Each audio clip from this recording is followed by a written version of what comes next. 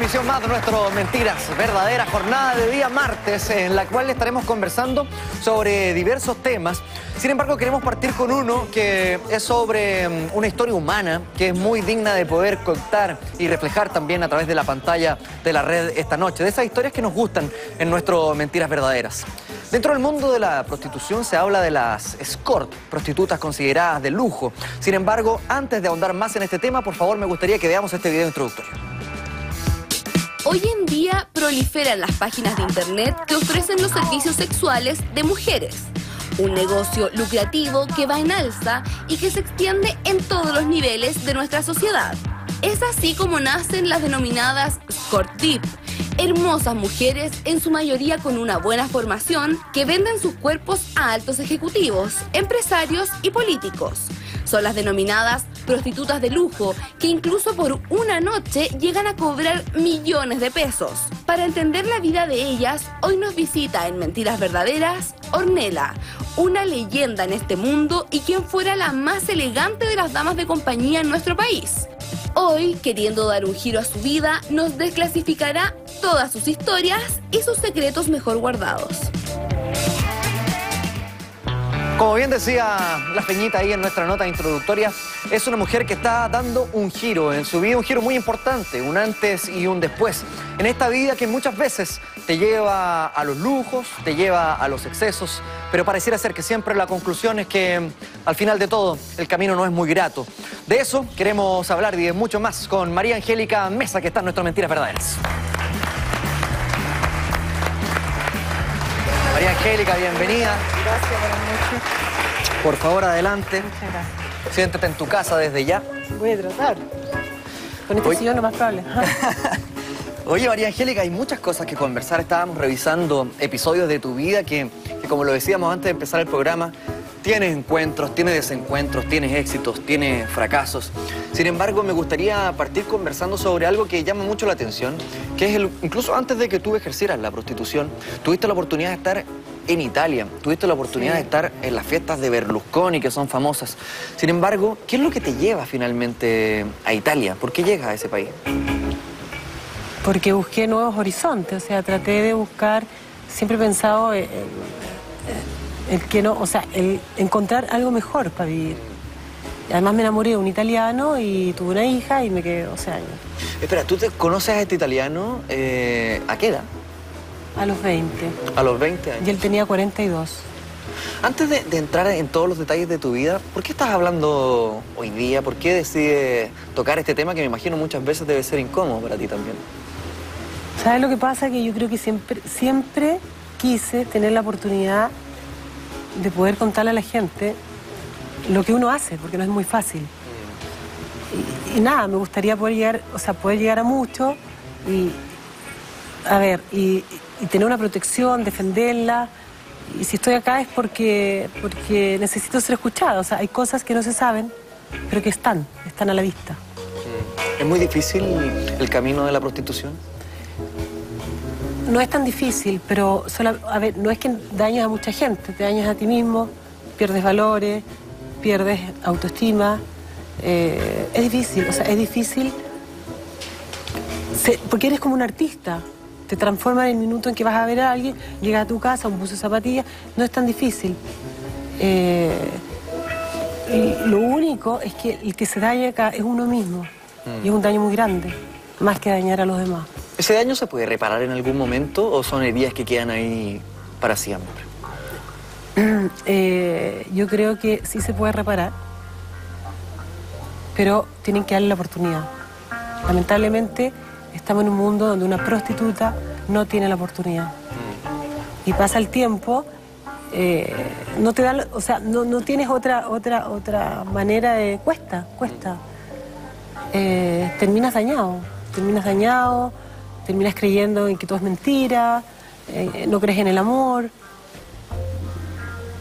Como que se confunde esta vida que decías tú del artista con la realidad. No existen matices. Es que son dos mundos completamente paralelos. O sea, tú sales de un mundo y entras a otro. Mi mundo fue siempre como una burbuja de cristal en la que pude hacer cosas. Pero el mundo mío real era otro.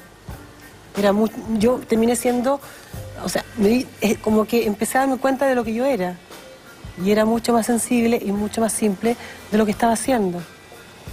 María Angélica, a veces se habla de, y se ocupa siempre esta frase, la frase de tocar fondo, de llegar al momento en el que uno decide ya no más. ¿Tú sientes que tocaste fondo y si es así, fue hace poco, hace mucho? No, yo siento que, a ver, sí toqué fondo, no por Lucas, ni por nada de eso, pero sí toqué fondo eh, del alma, o sea, tu mente ya no quiere, tu cuerpo ya no puede, y necesitas de algo de verdadero, Eh, necesitas eh, cambiar tu vida. Y eso. ¿Cuándo fue la última vez que, que intentaste trabajar, hacer el oficio de prostituta? A los 31, después de que volví de Italia a Chile. ¿Qué pasó esa vez? Fue terrible. Me contrataron, lo hice, eh, pude obtener mi plata.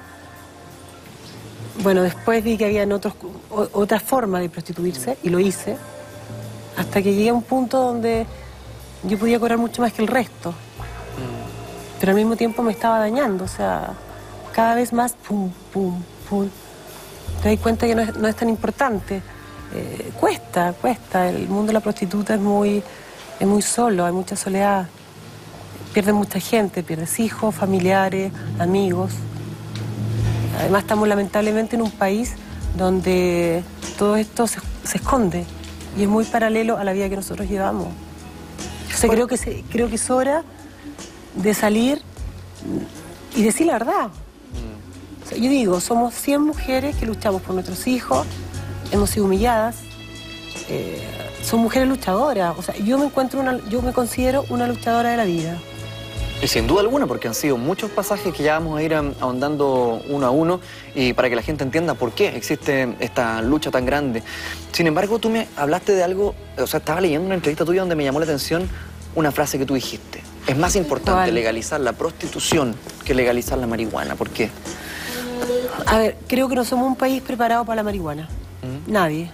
O sea, te fumas uno y te quieres fumar tres. Psicológico, creo que no estamos preparados ¿por qué? porque no la, usa, la usamos como para entretenernos. Pero hay un mundo, por ejemplo, legalicemos la prostitución, porque trabajamos en eso, gastamos en eso, andamos en autos espectaculares y podríamos sí, eh, eh, no sé, pagar un impuesto y ayudar también al Estado. ¿Por qué no sumarlo si va tan paralelo, o sea, va tan seguido como es la droga. ¿Qué Si tal? quieren legalizar la droga, háganlo, pero también reconozcan que hay un, mu- un mundo de prostitución donde la mujer está sola, eh, no tienes ninguna protección, pasas a ser una prostituta, o sea, pasas a ser un desperdicio de la vida, en el fondo. No hay valores. María Angélica, siempre que se habla de la prostitución, se habla como de este submundo de la prostitución, en el cual yo creo ahí, no sé si estás de acuerdo conmigo, que los medios de comunicación juegan una parte, a mi juicio, equivocada en muchos aspectos que muestran esta prostitución siempre en barrios más marginales. Pero la prostitución es súper transversal. ¿Qué tan transversal es la prostitución? De eso tienes razón. Eh, siempre muestran la prostitución en barrios como que fuera lo último. ¿no? La mejor prostitución está de Avenida Italia para arriba. Y todos lo sabemos. Hasta, yo creo que hasta tú lo sabes, perdona. Todos sabemos que existe eso. Eh, y que hay cosas mejores. Hay tipas casadas, eh, con hijos. Eso me pregunta. Eh, ¿Es habitual la prostitución, por ejemplo, en grupos de grandes empresarios, en la clase Por supuesto, política? Es la entretención de, de todo empresario, es la entretención de cada político. ¿Por qué? Ellos están casados, o sea, eligen señoras de una forma, se casan con ella y el sexo lo buscan afuera. Y también puede separar el sexo con el amor, es posible. Pero se supone que no es la idea. O sea, eh, en ese mundo tú ves mucho más prostitución. ¿Por qué? Porque es la gente que puede pagar. ¿Es muy alto el precio que puede llegar a cobrar una escort, una prostituta VIP, como se le llama también? Si te sientes seguro y te crees el cuento, sí. Yo no me considero, no sé, una superwoman ni nada de eso, pero te puedo contar que yo he hecho- he hecho cifras grandes. O sea, es como un negocio completamente que tú dices, a ver, deposítame la mitad antes, me paga la mitad después, me voy en avión. Pero sí, puedes llegar a ganar un millón en, una- en un día. En un día. Es verdad, te lo digo, porque yo me publiqué y la, la primera persona que tuve fue de Concepción. Me gané un millón de pesos, más 250 lucas, que era el taxista. O sea, el tipo votó un millón y medio. Oye, María Angélica, Ahora, no sé si eso podría ser suerte también. Claro. eh, vayámonos al- a, esa época en que tú conoces a este hombre, a este italiano, teniendo 20 años, te enamoras de él y, así como suena a priori, podríamos estar hablando de un gran príncipe azul. Sí, podría haber sido él. ¿Cómo lo conociste tú? Tú estabas de promotora trabajando, ¿no? Yo trabajaba en la FISA, Ya, en, en la parte de los italianos. ya. Dejé un curso auxiliar de vuelo, que no me, no me contrataron. Y de pena me fui a trabajar a la FISA y conozco a este tipo. ¿En qué contexto lo conoces? Eh, ¿En qué contexto? Tú estabas trabajando ahí de promotora y él se acerca y comienza a No, él se hablarte, acerca o fue en todos una comida. chocolate, joya, eh, vente conmigo, dibujaba Chile, Italia, los cruzaba, algo que, que los niñitos. Eh, bueno, y dije, ¿por qué no? Y la verdad es que me gustó el tipo. El tipo era 20 años mayor que yo. Me gustó y dije, ¿por qué no irme? Y él, cuando te conocía, ¿qué cosas te decía? ¿Cómo te empezó, como se dice un buen chileno, a embolinar la perdí? Ah, como lo hacen todos los italianos. ¿Cómo lo hacen Con los italianos? clase, con sensualidad. Eh, dejan siempre algo que desear en la mujer, ¿no? Te provocan, son coquetones, se preocupan, vaya. Cuando tú estás trabajando ahí de promotora en la FISA, el amor, no sé si amor, pero la atracción surge de inmediato. Pero también él viaja posteriormente a Él Italia, se o sea, va, se separa. Él se va. Ya. Él ya estaba separado. No, él, él vuelve y por mensaje, por cartas, me dice, cásate conmigo, Desde Italia. desde Italia. Y te había conocido en, En la es- FISA. esos 15 días de, de- de la FISA. ¿Sí? Te juro, yo peleaba con un milico ¿Ya? De la escuela y todo. Pero no aguanté, pues, además me quería ir de mi casa. O sea, tengo que ser sincera y decirte, sí, yo quería algo mejor. Sabía que hay un mundo completamente mejor. ¿Y por qué no buscarlo? Yo quise hacer eso. Tú viajaste a Italia con, con este hombre 20 años mayor, básicamente porque querías un mundo mejor, porque pensabas que podías llegar a obtener más lujo o por una cuestión de sentimiento. No, yo necesitaba un mundo mejor. ¿No estabas enamorada entonces? Sí, no, lo quise. Ya. una hija de él. Pero no, no me enamoré, porque si me enamoro es para toda la vida. O sea, creo no haberme enamorado nunca, si es por eso. ¿Nunca te has enamorado en la vida? No, o sea, enamorado, enamorado de un tipo, no. No me enamoro fácilmente, menos ahora. Quizás eso también viene por un poco por el ejercicio de la prostitución, ¿o no? De separar constantemente los Es que en sentimientos. ese tiempo yo no trabajaba en prostitución. No, pero te lo digo a lo largo Era de la vida. una pendeja que, que tenía ilusiones, que iba a conocer un nuevo mundo, que fue todo lindo, eh, fue todo snob, ¿cachai? ¿Por qué estás tan chata en tu casa? Ah, ese es un tema súper sensible para mí. Eh, ay, para mí la familia es súper importante. Siempre he dicho que la papá, el papá y la mamá son los pilares, pilares más importantes. Si el papá falta, se acaba el amor hacia una hija. O sea, se te va tu príncipe azul. Y esto pasó en mi casa. O sea, se, se, eh, ¿cómo se dice? Se, mm, eh, se separó todo, se desordenó todo. Y fue un clima duro, fue, fue difícil. ¿Tus papás se separaron cuando tú tenías qué edad? Diez. 10 años.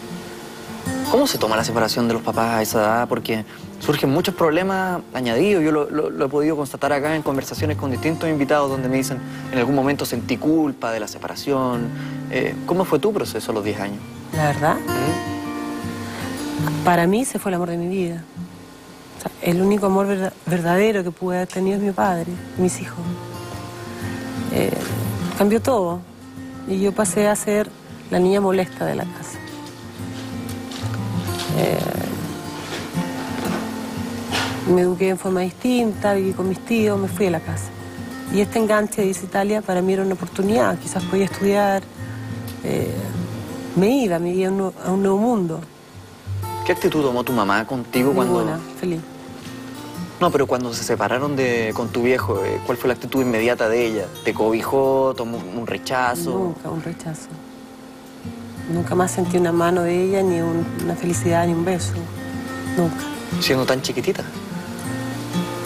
¿Qué cosa Y hasta el día de hoy, a, a mí me falta hasta el día de hoy. Eh, mira, no quiero entrar en esos temas que me decía y no quiero culpar a mi madre porque cada uno hace lo que puede. Yo no sé si soy buena madre o mala madre. Todos no somos perfectos. Mm. Pero hay cosas pequeñas, ¿cachai? Que voy- o sea, tenía una madre, yo me sentí siempre utilizada, y no es chiste, o sea, eh, sentí que me usaba siempre ¿Para qué? para pedir plata, en las cosas, pero yo no hacía nada. Repito, no quiero hablar más de mi mamá porque es un tema que, que me preocupa, es un tema que me afecta, porque cuando he querido familia, eh, no puedo volver a la casa. Y he necesitado a mi familia, mucho. Y eso, eso me da mucha pena, o sea, ellos me discriminan por lo que soy. Mucha gente. Eh, pero no discriminan el dinero, por ejemplo, que uno gana. Y cuando no tienes, y todos se dan cuenta que no tienes, nadie te da bola. Eh, bueno, ahí viene un montón de cosas del dinero, uno aprende también el dinero no lo es todo. Y, y uno madura, o sea, no tengo una familia, pero tengo a mi hija, que es todo para mí, ¿Te tocó trabajar desde muy chica? a los 10 años. Ah, o sea, se separan tu papá y tú inmediato tomaste esa Sí, obvio, había que económica. comer. ¿Qué hiciste? Vendía pan en una, en una panadería. Me puse a vender pan, me conseguí la pega, no me, gana- no me pagaban mucho y me echaron porque en vez de cuatro panes yo ponía dos más. De buena onda. Y me cacharon la bolsa y me echaron. La yapa, como se La yapa. Todos necesitan siempre la yapa, entonces yo la, la y me echaron. Pero en mi casa no faltaba el pan, o sea, alguien tenía que salir a luchar. Y siempre lo he pensado así. Yo me, o sea, he siempre con esta idea de luchar, de salir adelante. Yo tengo ese empuje. Y yo- quizás hoy día lo tengo más fuerte. Voy a seguir luchando. Cuando, ¿te acuerdas más o menos de esa etapa de la adolescencia, cuando las cosas escaseaban, cuando se separan tus viejos?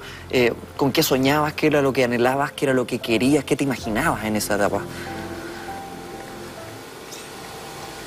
Quería paz, quería tranquilidad, quería ser alguien que... Quería ser una mujer de verdad. Eh, quería conocer el mundo, quería estudiar. Me fui con un, con un montón de aspiraciones. Eh, no lo sé, o sea, para mí siempre fue importante ayudar a mi familia, entonces también lo hice por ellos. Nunca los abandoné, hasta hace poco. María Angélica, quizás el hecho de que tus papás se hayan separado y tú recién me dijiste, mi papá eh, como el gran amor de mi vida. Eh, cuando conoces a este italiano, 20 años mayor, a los 20 años también tuyo, ¿puede llegar un poco a suplir esa imagen paterna o no? Lo hicieron. No, lo hicieron. Sí. Era paternal. El amor era paternal, no era un amor así, guau. Era, era más eso. Y eso me afectó porque se dan cuenta que yo reaccionaba como una hija, no como la amante del tipo o su mujer. Era como una hija más. Y yo me sentí súper protegida. Con el italiano tuve una súper vida. Tenemos una- hija que ahora vive en Italia. Eh, no lo he vuelto a ver nunca más. Pero. Ay, a ver. Es. Sí, fue un, afecto más paternal. O sea, claramente a los 20 años, cuando tú conoces a este italiano, viene a cumplir este, este tipo de amor más paternal, me imagino, tú ves en él una salida, una escapatoria de esa casa donde no querías estar, con tu mamá que estaba alejada de ti, o como tú dijiste, muchas veces te sentías utilizada por dinero. Entonces, ves en él como un portal hacia otro lugar, una salida para estar en un mundo mejor, para encontrar esa paz de la que tú Y hablas. que se me dio también. Yo siempre he pensado que tengo una estrellita, porque me pasan cosas, pero increíbles, cuando menos me lo espero. Tengo suerte, o sea, no puedo decir que la suerte, la suerte me ha acompañado siempre. Me pasan cosas que al resto no le pasa. Y yo digo, ¿por qué me pasan a mí? ¿Por qué? Porque estoy sola, porque llevo una vida sola. Eh, yo quiero luchar por mis hijos. Para mí el, el amor verdadero son los hijos. Para mí ese es el amor puro y verdadero. No, no conozco otro amor puro. No lo veo. Cuando llegas a Italia, ¿a qué, ¿en qué situación llegaste? ¿A qué casa llegaste? ¿A qué departamento? Arrendé una habitación eh, en una casa de una tipa cualquiera que terminó siendo la dueña del Bimambún. Así que imagínate dónde me fui a meter. Eh, y ahí estuve como tres, cuatro meses. No, me fui al tiro. Duré un día en mi casa y me fui. No teníamos No éramos, éramos todos distintos Pero espera, ¿eso te pasó cuando llegaste a Italia? de Italia. Ah, no, cuando llegaste a Italia te pregunto yo. Sí. ¿Mm? ¿Ahí qué pasó? ¿Dónde llegaste cuando te encontraste con el marido? Cuando me separé y volví, Sí. No, cuando te fuiste a Italia, siguiendo a este italiano, llegaste allá a Italia nos casamos y se casan de inmediato. a las dos semanas. Los dos. Felices, ¿ah? Ya. Yo estaba feliz, o sea, Era ricachón el compadre, ¿no? sí. Yo viví mucho tiempo en- una burbuja, en una jaula de oro, o sea, en una burbuja de cristal, pero no pude seguir viviendo en eso, o sea, mi realidad era otra. Eh, sí, viví mucho, ¿cómo se llama esto? Eh, entre mucha gente importante, me cansé, sufrí, me agoté, porque estaba con gente que no entendía nada que estaban haciendo. Y Pero espera, el, el contraste de haber sido tremendo, de pasar de esta casa donde escaseaba la plata, donde tenías que estar pelando el ajo para conseguirte algunas monedas para poder subsistir en el día a día. Resulta que de un momento a otro, después de, esta, de ser promotora en esta feria, te vas a Italia y llegas a Italia a un mundo de lujo. ¿Cómo viviste esa etapa? Me encantó, obvio. Eh, Súper, me iba todos los días de shopping. No, eh, fue buena. Además mandé un pasaje a mi madre, me fue mi familia. ¿Cómo era ese departamento al que llegaste o esa casa? Ay, era maravilloso, era todo lindo, todo lindo. Era como si me, me hubiese, me, me hubiesen esperado. Todo preparado, impeque, eh, lindo. Tenía una, un- una habitación mía, tenía una casa, tenía un hogar por la primera vez. Y una casa grande, llena No, de lujo. ¿No, no tanto? tanto. Ah, ya. No, no tanto. Que he vivido mucho lujo, sí. Pero tampoco me, me- te puedo decir que tiene mucho lujo. Si no lo podéis compartir con alguien, estáis solo y, y tampoco sirve tanto. Yo nunca fui completamente feliz en el lujo, porque había maltratos también. Donde hay dinero, hay maltrato. Casi siempre. ¿Cómo así? Bueno, la gente que generalmente tiene dinero tiende a ser más fuerte, más... más eh, ¿El poder genera un, un abuso? Por supuesto. Eso te da poder. Y el poder hace que los demás se humillen o hace maltrato a la gente. Eh, Es toda una consecuencia. Tú llegas a Italia, a esta casa muy bonita, una casa mm, tal vez no tan lujosa, pero que te entregaba el sentido más de hogar, que es lo que, que es lo que no- tú no tenías. Y te vas de luna de miel también. Me está mostrando la foto. Eh, sí, me fui de luna de miel, pero él fue tan inteligente. No es por hablar mal, pero me quedo muy pegado. Ah, no es por hablar mal. Eh, me lleva a París de luna de miel. Y me lleva al barrio rojo de París. Entonces nos metemos a estas vitrinas. Yo tenía ve- 19 años, o sea, todavía, todavía 20. te- Era tontita, ¿cachai? No cachaba nada. ¿En serio? Eh, nada, nos fuimos a París, me enseñó algunas cosas en París, en el barrio rojo, la el cual no me gustó, me, me decepcioné. Yo tenía 20 años, tú todavía creías en el amor. Pero sea, espera, ahí se empieza a caer el príncipe azul, porque si, si te llevan de luna de miel a París, uno se imagina la foto en la Torre Eiffel y comiendo en un restaurante bonito, pero resulta que estás ahí en el barrio rojo. Exacto. Eh, se te cae el príncipe azul, permiso, azul, ya no existe, pues no existe más. O sea, existe un príncipe, un príncipe que te quiere enseñar cosas de más de grande, ¿cachai? Cuando 19, 20 años estás en esta luna de miel en Francia, en París, y te llevan al barrio rojo, ingresas a esas cabinas, cabinas que, corrígeme si, si estoy equivocado, en las que se ejerce claramente la prostitución en esas cabinas, ¿no? Obvio. ¿Qué es lo que fue, qué es lo que Las cabinas van dando vueltas y tú vas viendo dos mujeres, dos hombres. Y yo te prometo, nunca lo había visto antes, entonces quedé media choqueada. Además, ¿por qué me llevaba ahí? O sea, él ya sabía todo, yo aprendí mucho de él. ¿Y qué viste en esas cabinas? ¿Qué te empezó a llamar la atención? no vi nada, no vi nada raro que, que mucha gente ha visto. O sea, eran dos tipas, eh, tres tipas, y tú vas metiendo moneda y sale otra tipa, ¿cachai? Eso. Pero esa era la luna de miel. Eso fue la luna de miel. Y en, e- eh, en esa noche me sentí atroz porque todavía creí en el amor, ¿cachai? Y eso, fue, y eso se fue como desmoronando después con el tiempo.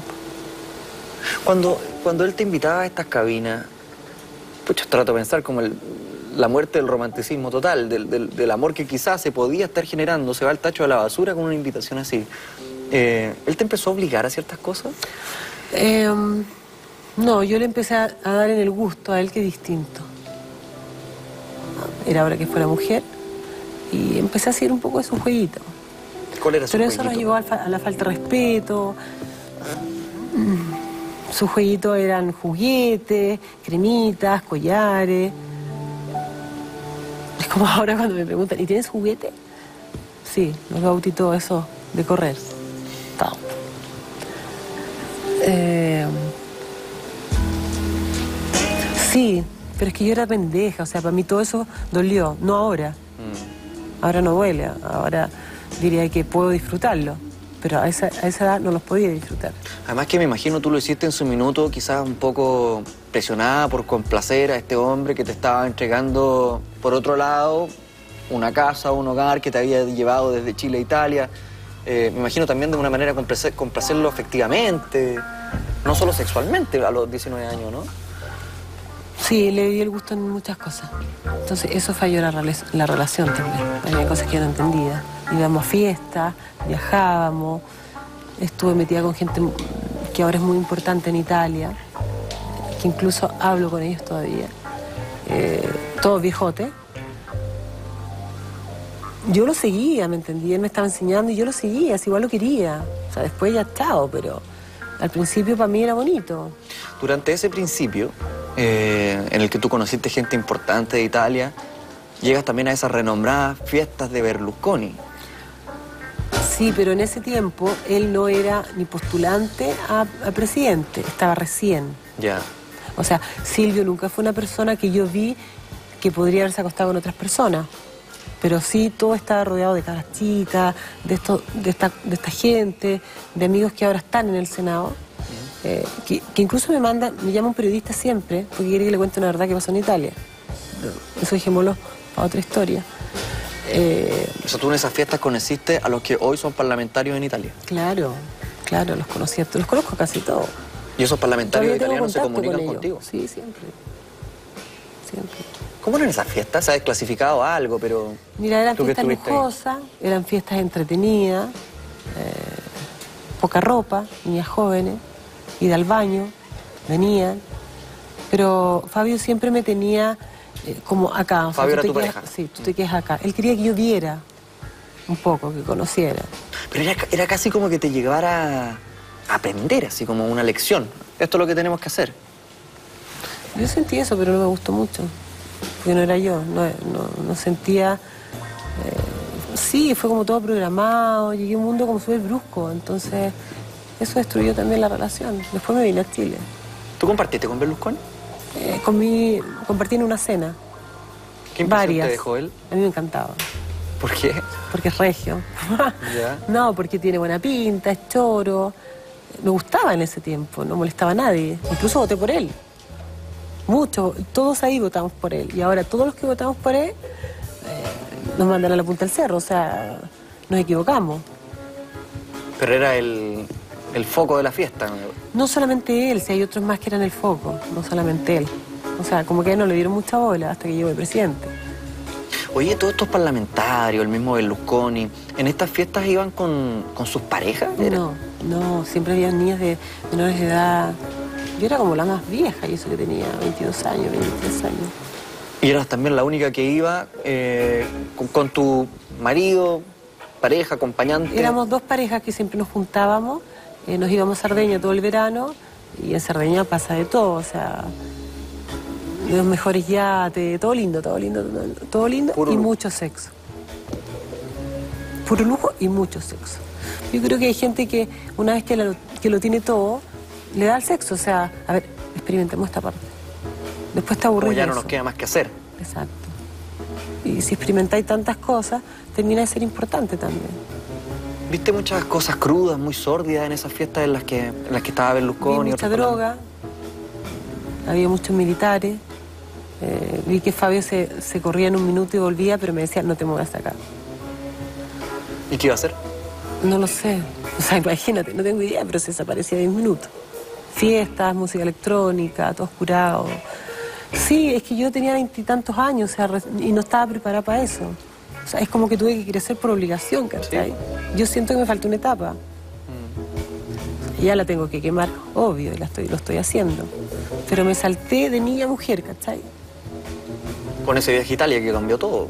Todo, absolutamente. Todo. Así como Fabio te llevaba a estas fiestas, y como lo dije yo hace un ratito, casi como una lección expresa, y como aprendamos esto es lo que tenemos que hacer después cuando vayamos a la casa. Eh, ¿Qué cosas eran las que te pedía? ¿Te obligó? ¿Te presionó? No, no me obligó nunca. Lo que pasa es que yo también quise en el gusto. O sea, yo soy de la idea de que si a tu marido lo, lo quieres contento, hay cosas que tenéis que hacer para que esté contento. Es un trabajo de dos. Y lo hice más por tenerlo. ¿Nunca te cuestionaste? No. ¿Nunca dijiste quizás esta cuestión está equivocada o aquí me no, huele algo no, raro? No, yo estaba enganchada, teníamos ya nuestra casa. No lo pensé, o sea, en un minuto lo pensé, pero después dije, "Bueno, ellos tienen 42 años y yo tengo 20. ¿Cuándo llega el momento en el que, en el que sí efectivamente te empieza ya a oler algo raro y tú dices, ¿sabes qué mejor? Yo de aquí me corro de esta pista.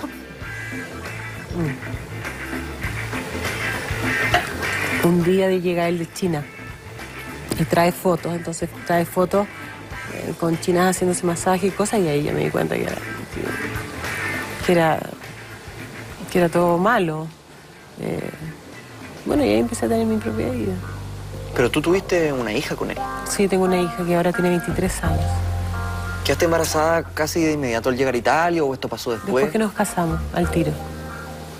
O sea, fue mi primera hija, entonces yo estoy feliz, estuve feliz. ¿Cómo cambió eso eh, Ah. tu vida y la relación también? Sí, a ver, yo era muy pendeja.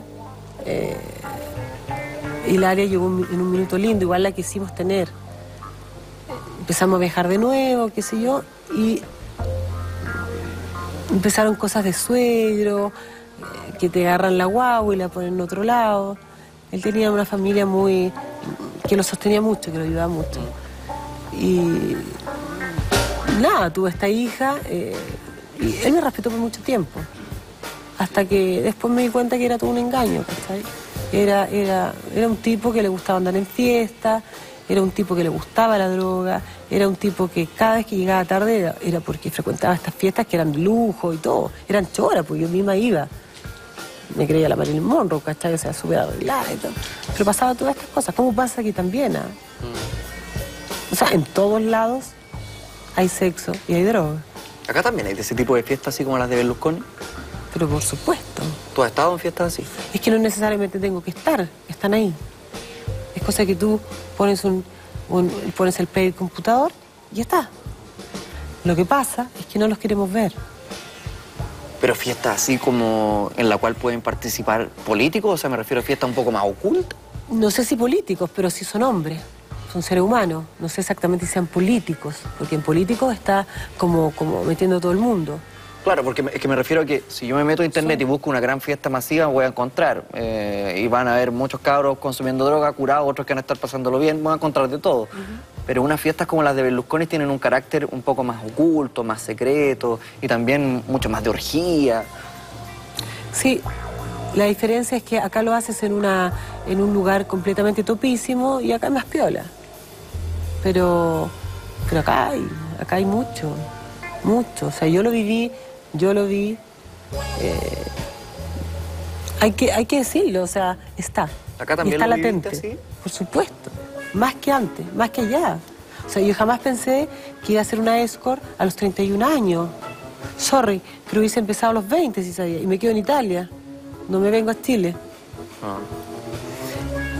Bueno, y ahí aprendí a ver un, un mundo completamente diferente.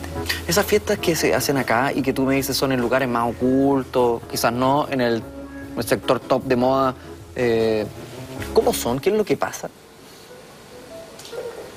Pasa que uno está con otra o está con dos, se desaparecen, vuelven, son prepotentes, puede haber una pelea. eh, hay bi- billetes de dólares, ponte tú en todo el piso. eh, son fuertes, o sea, son fiestas para quien realmente le gusta el carrete hasta la hora del cuerpo. Son fiestas swinger. Es como las fiestas de Ponte tú, eh, ay, ¿cómo se llama? Eh, ay, estas fiestas que pasan en Mantagua, Como las... Sunshine. Ah, ya. Esas fiestas son así. Se abrió una puerta, sexo, abrió otra puerta, droga. Yo me reía. No te, no te, no te digo que, la- que no la he probado. Pero son así, pero está, ¿cachai? Está, es una realidad de nosotros. ¿Por qué se esconderá tanto esa realidad? Una, porque somos una, porque nosotros hablamos de, de principios y de valores, ¿cierto? Mantenemos siempre eso. Yo no sé todavía cuáles sean los principios y cuáles sean los valores. O sea, los valores me imagino, no sé, nuevo. 9.090 un pie, 2.000 la rodilla y así vamos sumando. No. Eh, ¿Por qué? Porque somos poco transparentes, porque, porque queremos ocultar algo que existe. ¿Por qué? Porque hay muchas personas que están vinculadas y no quieren ser nombradas. Pero yo creo que es, hora, ahora yo te quiero decir esto de tu corazón, yo creo que es hora de que nos abramos un poquito y seamos más, más, mm, más sinceros nosotros mismos. O sea, yo no te digo que lo pasé bien, yo lo pasé súper. Pero también llega un momento donde te, desilusiona. Mm. yo en mi vida, yo ahora no podría tener un pololo, porque no le creo nada. O sea, podría decir me voy a comprar el pan y vuelve. Porque es capaz de ir a comprar el pan y llega con el pelo mojado. Eh, no tendría confianza, o sea. Quiero andar en eso, en por qué perdiste la confianza en los hombres en general. Tú me dijiste que nunca estás enamorado, me imagino que quizás menos ahora. Eh, pero me interesa saber también qué es lo que pasó en esa relación de Italia. ¿Por qué termina? Eh, ¿Qué es lo que pasa cuando vuelves a Chile? Y con ese comienzo de vida siendo escort a los 31 años. Nos vamos a ver, eso sí, una pausa comercial y ya retomamos nuestra conversación con María Angélica Mesa aquí en nuestro Mentiras Verdaderas, las historias que nos gusta contar.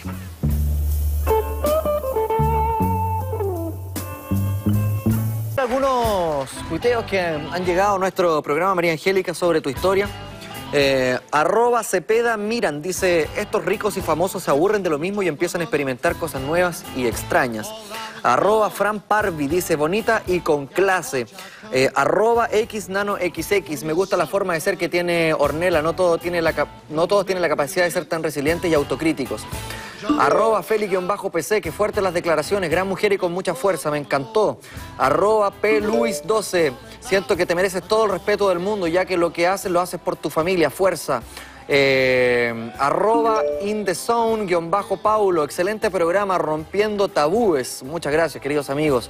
Eh, arroba Gaby, guion bajo Mini, María Angélica, está entretenida la entrevista. Eh, arroba a Cris, dice, con ella me caso. Así, ah. corta y directa. Gracias. Arroba Seba YJ. Son 500. Habla sexy, me pasan cosas, dicen. Bueno, acá están todos los comentarios. Gracias, chiquillos, por participar siempre activamente con nuestro arroba mentiras la red. Para hacer un resumen cortito, eh, a los 18 años, 19 años conoces a este italiano, te vas a Italia. Sí, me voy, me voy, me voy. Te vas al de luna de miel a Francia, pero ahí te llevan al, barrio rojo de Francia, a la perversión. Estás en las fiestas donde participan parlamentarios italianos, donde se ve mucha droga, donde se ven orgías. Eh, tienes una hija con este italiano, pero quedamos ahí. ¿Por qué finalmente fracasa este compromiso? Porque empezamos a faltar respeto. O sea, cuando pasan estas cosas, realmente la pareja después se falta el respeto. Mm. Sí, es como, sí, no confiáis, no confío en él y él no confía en mí. ¿Fue muy fácil devolverse a Chile o no? Mm, no, no, fue difícil. O sea, el regreso fue muy difícil. O sea, cuando tú se lo planteaste, ¿cuál fue la reacción de él? ¿Ah? Cuando tú se lo planteaste, ¿cuál fue la reacción de él? Nada, lloró mucho. Y yo también pero quería, necesitaba volver y quería volver. Ya estaba separada, no encontraba pega ya y me vine acá con promesas de trabajo. Eh, llegué acá porque, o sea, extrañaba mucho. Llegué primero que nada a, mi familia. Y me di cuenta que habíamos cambiado, todos habíamos cambiado. Mm. Yo había crecido, no era la misma, mi mamá no era la misma, mi, mi hermano eran diferentes. ¿Te viniste con tu hija de allá? No, a mi hija la dejé tres meses allá. Y, le dije a él... Tu hija era chica en ese momento, ¿no? Sí, titita. ¿Cuánto tenía? Cuatro años. Pero me vine porque yo quería probar primero suerte acá, o sea, que ver qué pasaba. Y él me dijo, déjala acá con los abuelos. Perfecto. La dejé como de vacaciones. Y cuando llego a buscarla, resulta que él tenía la patria potestad. O sea, no podía visitarla cuando a mí se me antojara. Y la hija tenía que vivir con él. Casi me volví loca. ¿Qué hice? Agarré el área, pedí permiso, dejé todo botado, me fui al aeropuerto, compré dos pasajes y me fui a Alemania.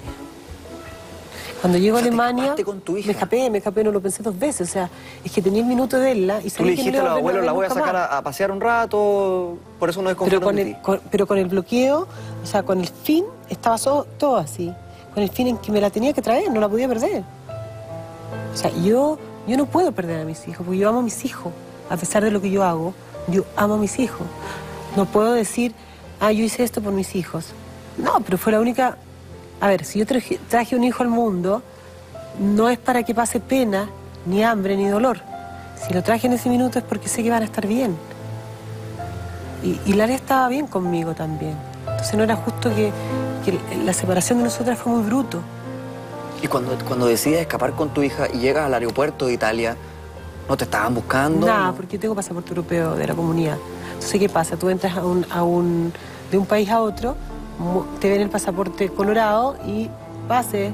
Pero, pero tú me dijiste que algo de la Interpol. ¿Qué pasó? Espera, paso a Alemania, me voy a Frankfurt y un alemán habla, cuando yo le muestro los documentos, habla, me mira y dice, pase, pase. Y yo sé que le estaban preguntando ya por mí, porque este tipo ya dio la orden de que se habían raptado a su hija. Me fui a Río de Janeiro, tomé otro vuelo, Sao Paulo. En Sao Paulo me estaba esperando la Interpol para llevarse a Hilaria. Y yo, condenada, obvio. Y de repente viene un tipo que dice, eh, pase por acá porque usted está con guagua. O sea, no me pudieron pillar. Pasé antes de la aduana. O sea, zafaste, pero jabonada. No, así, yo todavía no lo puedo creer. Nadie, lo- nadie podía creer cuando yo llegué con Hilaria acá. ¿Cómo lo hiciste? Pero que no me ayudó nadie. Fue como todo, fue como todo así, como que de repente la vida te entregas cosas, eh, te da caminos, te da, te da sensaciones y, y te hace hacer cosas que a veces son positivas. Y, y yo creo que cualquier madre haría lo mismo. O sea, yo no pensé dos veces. No Pero- podía dejar votar a mi hija. Hace un ratito me hablaste de que tú tenías una estrella. Sí. ¿Qué explicación le da a esto de que hayas podido salir de Italia con tu hija, estar en Alemania, posteriormente en Sao Paulo, luego en... ¿Hiciste otra escala más o llegaste directamente? Buenos Aires. Buenos Aires, Chile. eh, un recorrido sumamente difícil si es que te está persiguiendo la Interpol. eh, ¿A qué atribuyes tú No que hayas podido llegar con tu hija? ¿Cómo? ¿A qué atribuyes tú el hecho de que hayas podido llegar con tu hija a Chile? No sé, yo... A ver, ¿sabes? ¿de verdad? ¿Mm? Yo creo que hay alguien arriba que me ayudó. O sea, creo que toda mi vida ha sido muy solitaria y, y confío mucho eh, en alguien por ahí que pienso que tengo una estrellita. O sea, cuando la gente... A ver, yo he, estado he tocado fondo, he estado arriba, abajo, arriba, abajo, pero siempre hay alguien que me empuja. ¿Quién es ese alguien? No lo sé. Es, es alguien al cual yo rezo mucho. O sea, ahora no quiero hacer guau, no. Pero tengo fe, tengo mucha fe y creo que hay cosas que hay alguien que me las hizo obtener. Pero cuando, te cuando tú Creo me que me dices... las merezco. O sea, yo vendí pan a los 10 años, ayudé a mi familia. O sea, yo a mi edad, a la edad que tengo ahora, estoy cansada. Me cansé. Es como si hubiese trabajado, luchado toda mi vida. Eh, es un cansancio como de tener 80 años. Eh, es quiero paz. Y si no, hay, no, hay- no existe alguien que me ayudó, entonces dime tú cómo lo hice. Porque ni siquiera yo supe. O sea, era muy fácil lo que hice. Cuando tú me dices, alguien me ayuda, ¿te refieres a alguien como una figura del Dios para algunas religiones o alguien en específico, o alguien que, que falleció de tu familia, un No, amigo? Es alguien, a ver, no sé si es Dios, pero porque cada uno tiene su Dios, dependiendo de cuánta fe podéis tener. Pero sí, siento que hay alguien que me cuida, siento que, que si estoy hablando contigo ahora, no sé cómo, pues yo debería haber estado ya, no sé, en otro lado. Sí, sí hay alguien que me cuida y te podría decir hasta quién se quiere. Ah, ¿Quién es? Un extraterrestre, no.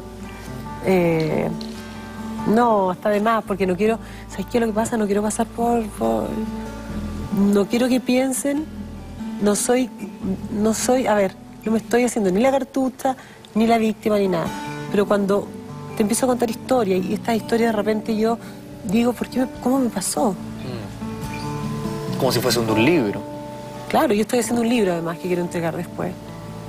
Que viene toda la. Viene un montón de cosas de mi realidad, de lo que he pasado. Porque hay cosas que, oye, a dos minutos de ser sentenciada por robo, por intimidación, llega O'Ryan a salvarme con, el- con un montón del, del grupo Hermosilla. Y yo no podía creer. Estaba cinco minutos de ser condenada. Ya vamos a llegar a esa historia, pero súper importantes que yo creo, yo hoy en día, a mis 43 años, yo creo que hay alguien grande, no te puedo decir quién es, que, que, que chuta, si la vida te hace estar solo, eh, nunca vas a estar solo, va a haber a- alguien siempre que te va a ayudar. tú Yo quedas, me siento así, quedas embarazada de nuevo cuando llegas a Chile. sí, Tú llegas a Chile teniendo qué edad? 26. 26 años. ¿No tenías No, trabajo? mentira, tenía 20, a ver, no, sí, 26. Sí, tuve pega, eh, tengo una amiga que era gerente general de PTR y me dio la pega de, de, de- de operadora. ¿Tú estabas con tu hija? No, todavía no. Cuando llegó mi hija yo trabajaba en Corbank. Ya, pero me refiero a que cuando hiciste todo este viaje de escala escapando a la Interpol, llegaste a Chile. ¿Y estuviste con tu hija cuánto tiempo acá? Un año. En un año yo quedé embarazada de mi segundo hijo. Éramos ya una familia, quería un hermanito, bla, bla. Con el, con el papá de ese hijo, eh, Sí, eh, estaba todo bien, estaban en, bien en pareja. sí, obvio. Conocemos de los 15 años. Eh, y de repente me tocan la puerta. Yo tenía guata y me tocan la puerta y, y me dice la Interpol, tenemos que llevar a la niña. De golpe y borrazo. Sí. Fue súper fuerte, o sea, imagínate. eh, yo creo que estuvo pagado todo, porque no puede ser que una jueza diga que no te mire nunca a los ojos y diga, ya, la niña se va con el papá. O sea, no, no, se, no se usa eso acá, pero lamentablemente el dinero mueve, mueve montaña. Y yo no soy nada al lado de él, o sea, eh, no, tengo las- no tenía los recursos que él. ¿Qué sientes cuando se llevan a tu hija? Eh, no sé. Eh, no sé, solo le dije, recuerda que nos vamos a volver a ver.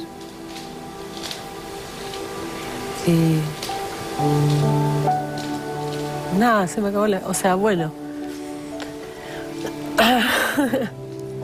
Me dio pena, pues tenía una pena enorme, eh, me costó salir adelante. Estaba embarazada de este otro hijo. Lo perdí, yo sabía que le iba a perder, pero para siempre. Solamente la agarré, donde tú su cara, y, y la agarro y le digo, Hilaria, mírame bien, nunca te olvides, nos vamos a juntar de nuevo. Y ella lloraba, ¿cachai? Le caían las lágrimas seis años y yo entendía. Pero fue como un pacto que hicimos. Yo la peleé un montón a ella, se fue de un minuto a otro. O sea, fui al tribunal y el magistrado dice, no, la niña se va. Y ni siquiera nunca me miró los ojos. Yo pienso que corrió plata para que un tribunal diga se va, se va, se va y tiene todo listo. No puede ser. Soy la mamá. Y en ese tiempo ni siquiera e- era escort. Cuando la miraste a los ojos y le dijiste, hija, nos vamos a volver a ver. ¿Se cumplió esa promesa de madre o no?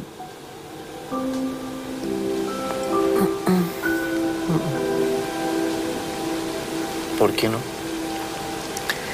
Porque la- yo iba cada dos años hasta ahora. Viajabas a Italia cada dos años a buscarla. Cada dos años. Tengo los pasajes incluso. Porque he guardado todo para mostrárselo. Para que vea un día que estuve fuera de su casa mirando todo el día para ver si salía. Eh, Ay. em,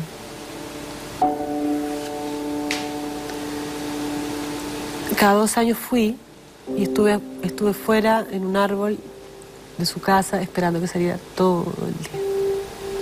Todo. O sea, veía a alguien, ah, una ilusión, que era ella, no era ella. Y me junto con su padre, y su padre hablan entre ellos. El dolor, no te digo, o sea, me caían las lágrimas.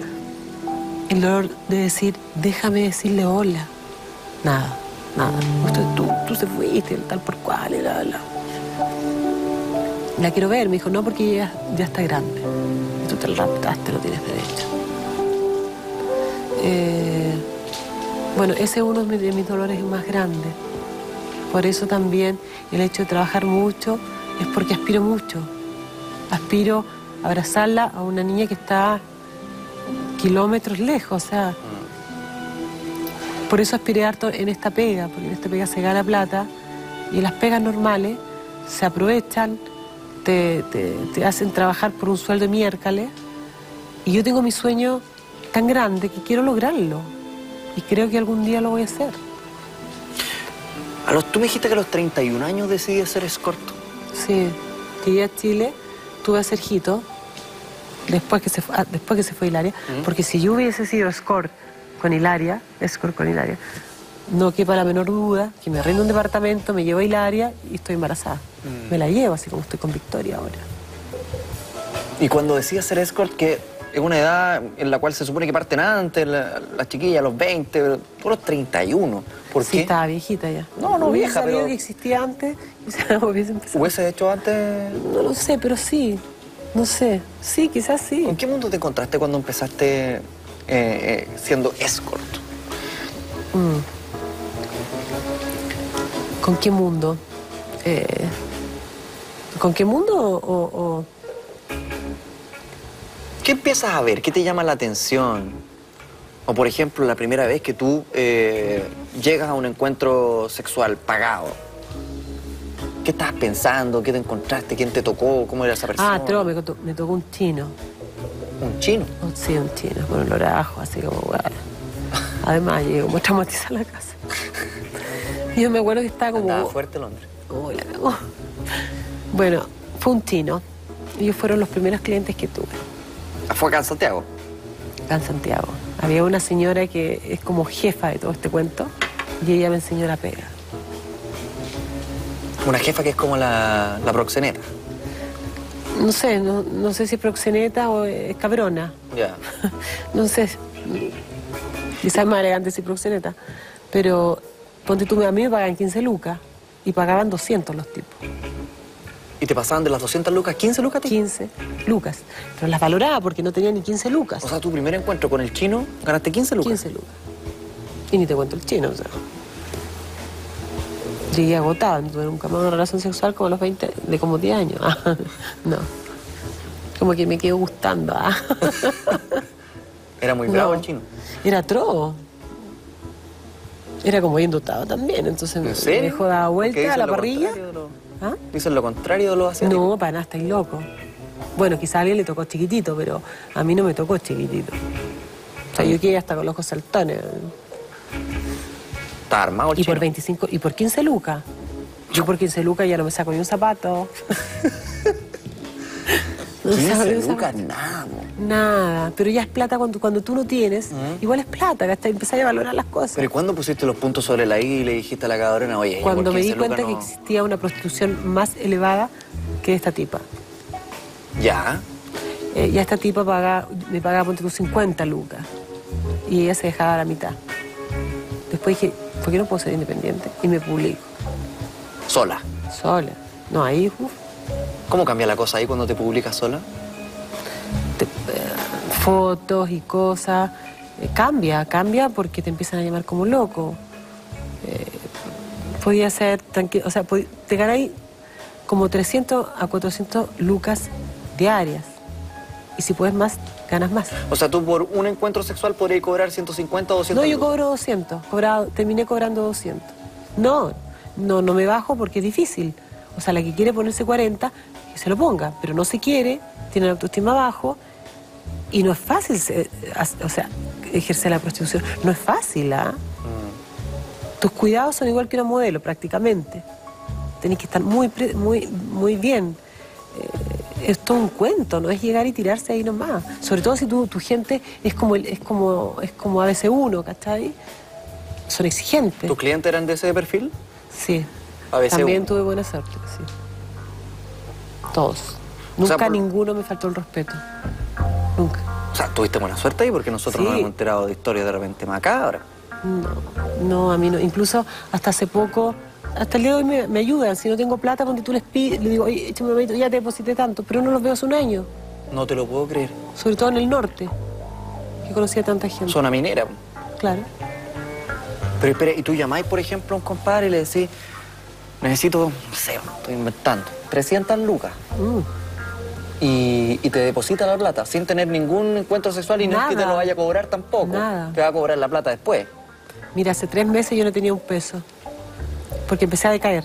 O sea, dije, no puedo más, voy a empezar a vender lo que tengo, voy a vivir como vive cualquier tipa normal. Hasta me entretuve contando las chauchas. Ver, tengo, y es la primera vez que sé los precios de la leche, el precio de la carne. No tenía idea, porque, está ahí. Echaba ahí al carro, ¿no? Sí, pues si los billetes estaban. Mm. Y me ordené, entonces ya como que... mm. Y, y- y llamo a esta persona y me dice, te deposité 500 lucas, por ejemplo. Le dije, ¡ay, te pasaste, que eres buena onda y todo! Y al otro día me dice, te deposité 500 más para que te arriendes tu departamento. O sea, yo saltaba en una pata. Esto Pero era el cielo, o sea, no me digas que esto era el, que no era el cielo, porque ese tipo yo no lo veía hace cinco años. Hasta el día, hoy día me dijo, ponte tu felicidad, le dije, pon el programa porque está re bueno. Claro, mandamos me- un saludo también, ¿ah? Sí. Me dijo, Lo mínimo, "No con un palitroque". Yo en todo caso, le dije, no te preocupes. Pero buena onda, ¿cachai? Estas cosas pasan. A mí, yo espero, espero, espero, espero. Ahora le hago caso a mi madre, que hay algo que siempre me decía. Espera, espera que Dios proveerá. O sea, ya lo tenía como rayadito el Pero ¿y no, disco. y no te pasan ninguna factura después? No, eh, hay gente Nada, que no. así por no. la buena onda. Que, y- y- y No. te- pero ni siquiera te pide que, te le, que le devolváis la plata. Sí, hay uno que me está jodiendo porque según él yo le debo plata, pero él me debe plata a mí. O sea, yo mi pega la hice, ya se la pasé. Sorry. La plata. La plata y el plato. Se lo pasé. Entonces, si quiere más, lo que está, de lo que está es un argentino. De lo que está pidiendo es mentira. Entonces yo lo dejo que siga y se puso medio psicopático. Devolverme el dinero, bla, bla, bla. Y te entregan la plata, ¿por qué crees tú? ¿Por, por una buena onda de amistad? ¿Porque están enamorados? No. ¿O porque tienen miedo de que de repente soltéis la lengua? No, tampoco. Porque a muchos, soltando la lengua, a muchos ayudé tiempo atrás. ¿Cómo? Eh, Uno pensaría lo contrario, que los perjudicáis si soltáis la no, lengua. pues, porque por ejemplo, a salir en el diario ayudé a este tipo con la cantera y le hice famosa la cantera. Hablé yo. Me tuve que poner en pelota, ponte tú, en un calendario y hablar de la cantera. Uf, todo hay un mundo llegó a la cantera. Y bueno, y los demás lo hacen como amigos también. O sea, sí tenéis- tiene que haber un intercambio cuando vienen a Santiago. Pero es muy suave, o sea, yo conozco gente muy que son respetuosos también. Es que depende también de cómo seas tú con ellos. Oye, tú me dijiste que como escort VIP tenías que tener muchos cuidados, casi como los de una modelo. ¿Cuáles son esos cuidados y No, es cuántas... que yo tengo 90, 60, 90, o sea, tengo claro que estoy gorda. Gorda no está ahí. bueno, pero sí tenéis que tener cuidado. Pero esos cuidados, ¿cuántos piticlines puedes gastarte al mes cuidando tu cuerpo? 500 lucas al mes. 500 lucas al mes solo en cuidados tuyos. ¿Qué esos cuidados? Crema, ejercicio, eh, un buen perfume, un lindo vestido. Elegancia total. Y la elegancia hay que hay que, hay que. Yo, yo representaba a una mujer elegante. Lo que aprendí en Italia lo hice acá. Ya. En el día yo ando con un moño acá, con un buzo, la polera manchada, parezco cualquier cosa. Pero tengo una reunión eh, y, y no sé, a mí me decían que yo exageraba, pero que el perfume, que el, re- que el calzón, o sea, perdón, no colales, tienen que ser de una cierta forma, el zapato de una cierta marca. Eh, es también un cuento, ¿ah? Es también todo, un, tenés que cuidarte. Hay una frase que yo cu- encuentro bien machista, pero pareciera ser que tiene algo de cierto, que esto de una señorita en la vida y una perra en la cama. Sí, pues. Una perra y una perra cotota en la cama, o si no sale y te dice voy a comprar el pan, como tenía un viejito que compraba el pan, le decía a su señora, ya voy, estoy en la panadería. Y el viejito estaba dele que dele, po. Y después agarraba la bolsita del pan y se iba para su casa, o sea, la señora estaba feliz porque fue a comprar el pan. El pan caro. Y el viejito era un viejito, Viejito de qué edad? 80, ponte tú, No te lo bastón puedo y todo. creer. No, sí, llegaba a cada cosa. ¿Y funcionaba el abuelito? Sí. El abuelito se mandaba un Viagra, llegaba loco. A mí me daba risa porque llegaba con un bastón. Y bien caliente. Llegaba bien caliente. Y llegaba tirando mano al tiro. Obvio. Y el tipo, el viejito te daba 500 lucas. El viejito me regaló un auto. Sea, estas cosas no les pasa a cualquier tipa. Por eso yo soy bien pelada en este ambiente. O sea, como a ella le pasan cosas y ah, ah, esta weá que tiene suerte y todo. Claro, porque que te regalan una. yo no me he comprado un auto nunca. ¿Te lo han regalado clientes? Todos. Eso es suerte. El auto importa un pucho. O sea, si tengo que vender el auto, lo vendo. Pero me lo han regalado siempre, he tenido suerte. Y el abuelito Feliz. Me gusta el abuelito. El, el abuelito, este abuelito era el calcetín roto. Todas le llamaban el calcetín roto. ¿Por qué? Porque tenía un calcetín roto, ¿cachai? Cojeado. Pero andaba con un maletín enorme y adentro del maletín siempre andaba con 500 lucas. Siempre. Y todas lo- lo- lo- no lo pescaban porque tenía el calcetín roto. Y un día me lo encuentro y me dice, le veo el calcetín roto y digo, este viejito es. Y me dice, ¿sabe que yo la voy a ayudar? ¿Quiere 500 lucas más? Y yo, sí, baja y trae 500 más. Y todos los días, o sea, todos los días eran 500 lucas. Yo te digo, o sea, cambié el closet, compartí, pagué cosas. eh, estaba feliz, pues imagínate. Pero el viejito después ya se quiso casar, ¿cachai? Y, se enamoró. Y un día llegó con las maletas y me dijo, yo vengo a dormir con usted. Pero era muy viejito, ¿cachai? O sea, yo creo que el viejito un poco más lo mato. O sea, no lo mato, pero yo creo que dos Viagra más y muere. Pobre viejito. Estaba jugando al límite.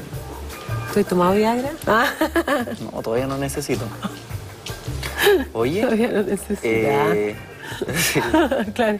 eh, porcentaje de hombre soltero que te llamaba versus hombre casado. ¿Por qué te pones rojo?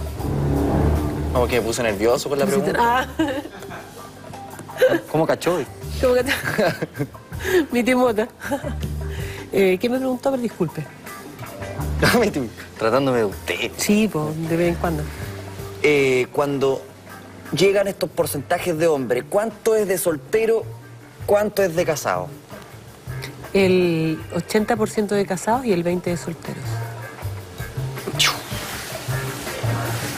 ¿Por qué llega tanto hombre casado? Es culpa de la mujer. A ver, no es que sea feminista, ni machista, ni nada. Pero yo creo que mucha culpa... la- A ver, yo lo ¿Culpa que he experimentado... Si la mujer, sí, obvio también. Y el hombre, que el hombre chileno, por, por esencia, es guerrero. Y por esencia es calentón. Y por esencia buscan nueva aventura. Ah. Y Sobre todo si la mujer está embarazada. Porque te cuentan, o sea, a mí me cuentan, ay, es que mi mujer está embarazada y, Y no me da la pasada. y ahí y- cacho yo, ah, ya, por eso me buscó. O porque la mujer es Opus Dei, lo que yo te decía, los Opus Dei, ellos pueden hacer solamente hijos. El sexo, el sexo es para tener hijos. ¿Cachai? No se puede desperdiciar. Todo sirve. claro, todo sirve. Em, ¿Qué más?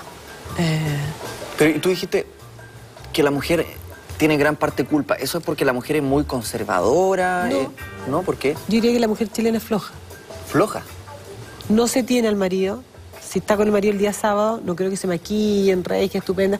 Y por último le hagan una noche un poco sexy. O sea, llega el marido, llega el marido, velitas, ¿cachai? Lo estoy esperando, lo que yo, es lo que yo hice. Pero me cansé también, me agoté, porque el otro era mombre yeso, era al gato yeso, o sea, no hacía nada y yo tenía que prender las velas, apagar las velas. Mm. Tenía que hacer como todo sola, y date vuelta, vuelta carnero, ya me la supe de El memoria. otro mirando las, las piruetas. No, el otro esperando que por donde, claro. Mm. Eh, no sé, yo le diría a la mujer chilena que tiene que ser más coquetona con su marido, tiene que dar- darle ciertos permisos que ya son realidades, eh, que ya no son tabú, más coquetona, más placer. Y que no les deas con nada, si al final, oye, al final es su marido, Oye, ayudemos un poco a esas mujeres. feliz. Démosle algunos ojo, consejos. Feliz. Pero, sí. Eh, pero de corazón, o sea... Sí, por eso te voy a hacer algunas No preguntas digo para que la ayudar. mujer chilena sea penca, porque el hombre chileno también es recalentón y busca siempre. Y eso se ve todos los días. O sea, yo tengo dos clientes diarios, de los que antes tenía más porque cobraba menos. Pero si cobro 150, son- me bastan dos diarios, uno en la del almuerzo y el otro en la noche. Pero, Y son Estoy- muchos. ¿a qué hora te llaman, por ejemplo? A ver, el, el, el El cuento- promedio, así. ¿A qué hora te, te pega una llamada para la- el- ya, generalmente la primera llamada es tipo once y media, como para las doce y media, una. 12 de la noche o...? No, no, yo en la noche no trabajo. Ah, ya. en el día. Del, a, la, a la hora del almuerzo, no almuerzan, ¿cachai? Llegan con una pizza o con su... El, el pollito al velador, la hora de colación. Exacto. Además me carga comer en, esa- en ese minuto porque comí y después como que la comida llega hasta acá, ¿cachai? Claro. Primero comiste, después te dan vuelta. Nada que ver, no, me gusta se comer. todo. Y, eh, y entonces te empiezan a llamar como a las once y media de la, no, o sea, de, la, de la mañana para coordinar el almuerzo. Sí. ¿Eso es el horario almuerzo? El horario Pero ahí la almuerzo señora no tiene como cachar. Yo pensé que te llamaban de repente como a las 6 o a las 10 de la noche, que la señora No, podía ver que en la cocina estaba sí. pegando un llamado. No, sí hay. Hay. Pero en la noche no me gusta. Porque, porque, no sé, me da susto. Ya me han pasado tantas cosas de noche. Que, además, yo no soy de noche. Mm. No puedo. Además, a mi hija le tengo que ir a buscar a las 6. Entonces, mi horario son de 8. y le enc- no, si le encanta también de 8. La mañanera le fascina. O sea, tú le hiciste espera en la mañana a las 10. ¡Ay, ya! Llegan a correr con un café con leche, qué sé yo. Listo, tú, tú, cinco minutos, 200 lucas. Sí, porque O sea, la te da mañana pena, a mí me da pena. Es como tiempo. decir, ¿estáis bien? Sí, lo que pasa es que es cortito. Es Yo me siento como que lo hice como las pelotas, porque ¿estáis bien? Sí. Claro, es como si yo llegara y dijera buenas noches, hoy día vamos a hacer mentiras verdaderas, que estén muy bien, chao. Y se acabó la cuestión. Y se acabó. Y el otro turno, porque es con doble turno, el otro turno es de 7 a 9. Y podéis seguir, ¿ah? O sea, además podría ser 3. O sea, son 600 lucas diarias. ¿Cachai la cantidad de Hay dinero? que que tener aguante, sí. Sí, yo una vez junté un millón en un día. Dije, necesito un millón. Porque sin este millón no va a pasar. Oye, terminé, pero así como... Un millón en un día, o sea, como cinco. Quiero saber, Sí, no sé, igual era más joven. quiero saber, Ahora ya no. quiero saber qué es lo que pasa en, en eso- en esos encuentros sexuales, qué es lo que pasa cuando el hombre llega, el chileno es encarador o es más bien tímido, eres tú la que tiene que preparar el ambiente, oye, ya llegan listos. Quiero también eh, saber cómo detectar a aquellos que podrían estar siendo infieles. Los vamos a echar al agua.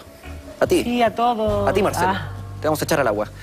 Eso sí, nos vamos a ir a una pausa comercial y ya volvemos con más mentiras verdaderas. Pasando con María Angélica Mesa, hemos hecho un recorrido por toda tu vida prácticamente, María Angélica, pero quedan tantas cosas por conversar. Tú me decías, si habláramos de todo, estamos cuatro horas por lo menos haciendo programa. Sin embargo, dejamos algunas preguntas hechas antes de irnos a la pausa. Estábamos hablando del perfil del chileno que llama una escort o una prostituta VIP.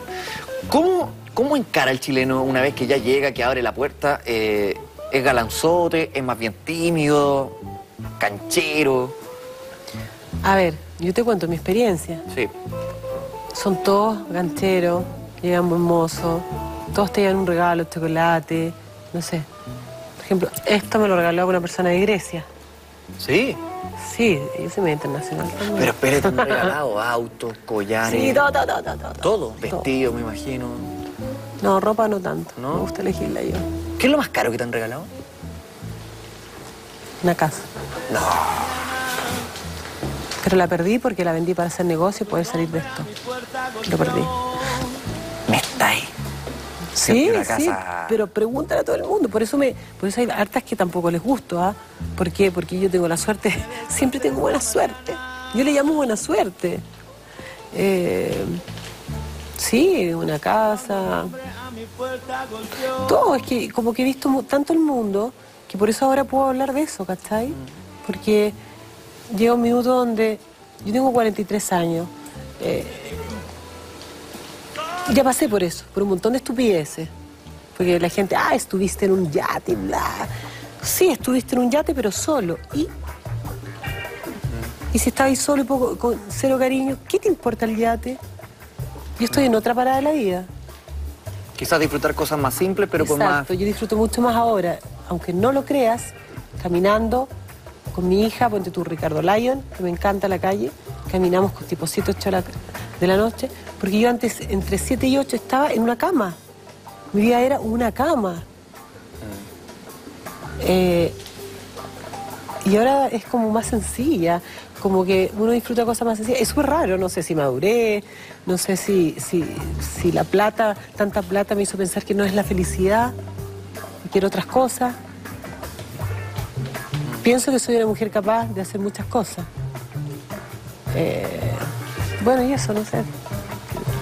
Oye, ¿te ha pasado de repente que estáis haciendo tu vida normal, estáis caminando por Lyon o de repente, qué sé yo, estáis en misa y te encontráis A misa con... no voy, no voy mucho, porque te digo, la primera vez que fui a, mi- a misa se fueron 10. ¿Cómo? Sí, se fueron, o sea, es como yo dije, estos son satánicos. ¿Cómo se fueron? Entró el diablo. ¿Ah? ¿Cómo se fueron? No Se fueron, me vieron y se fueron. Ah,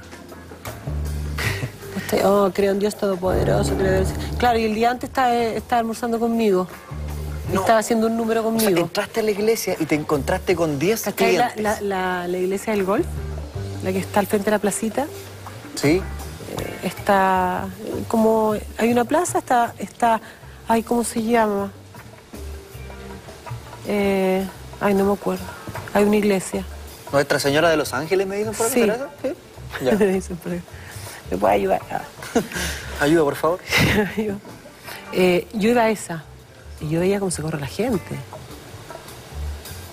Pero yo fui cara y palo, porque en un, ah, yo fui una vez desde que estoy acá en esto. Y me di cuenta que no era lo mío a la iglesia. Ya. Pero además se te escaparon como 10 feligreses. Exacto, o sea, a mí me dio risa. Porque, ay, no los pide la señora, ay, no los pide la señora.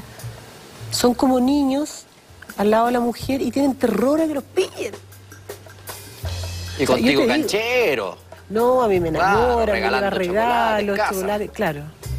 No, me los regalaron, me, regalan- me han regalado cada auto que tenía. Y espera, y tú entraste a esta iglesia y, y hubo compadres que empezaron como... Y se pegaron la... Se fueron. Ahuecaron el ala y chao. Yo dije, tácate. Se fueron porque se sintieron culpables. Yo no. Yo no tengo ese problema de sentirme culpable delante, no sé, pues. Eh, dentro de todo he sido afortunado. Mi primera, mi primera expresión en el extranjero fue a Cape Town. ¿De repente te ha pasado que, que llega alguien, tú lo ves, es un cliente, están en una plaza, qué sé yo, en la misma iglesia, donde sea, y de repente eh, tú misma lo empezáis como, como a torear y le mandáis algún mensaje, te empezáis a reír de él? ¿No? Al último que lo hice, como te digo, se le cayeron los cubiertos, la carne, el plato, todo Ah, eso. lo hiciste tú, le mandaste un. WhatsApp así y le pusiste, te veis bonito con terno. No, estaba en la mesa al lado, llego y empieza. Yo veo como tiritan los, los cubiertos en, un en el restaurante europeo que está como en Alonso Córdoba. ¿Ya? Y yo paso a comer con un argentino. Entonces la señora dice, ¿qué te pasa? Y yo le mando un WhatsApp y le pongo, vamos al baño de pesar.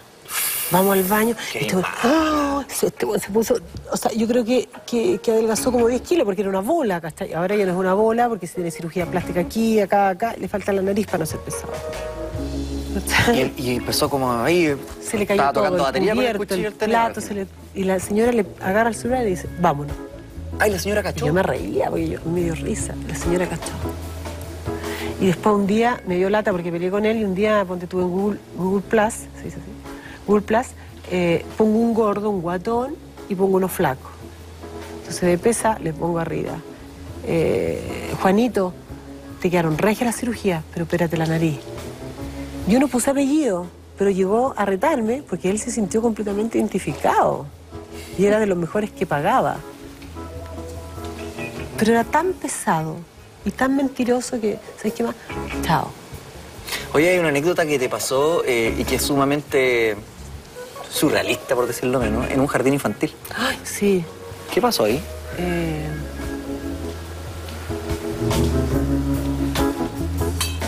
Voy a tomar yo también, estoy tomando agüita nomás. Mandaba agua. Eh,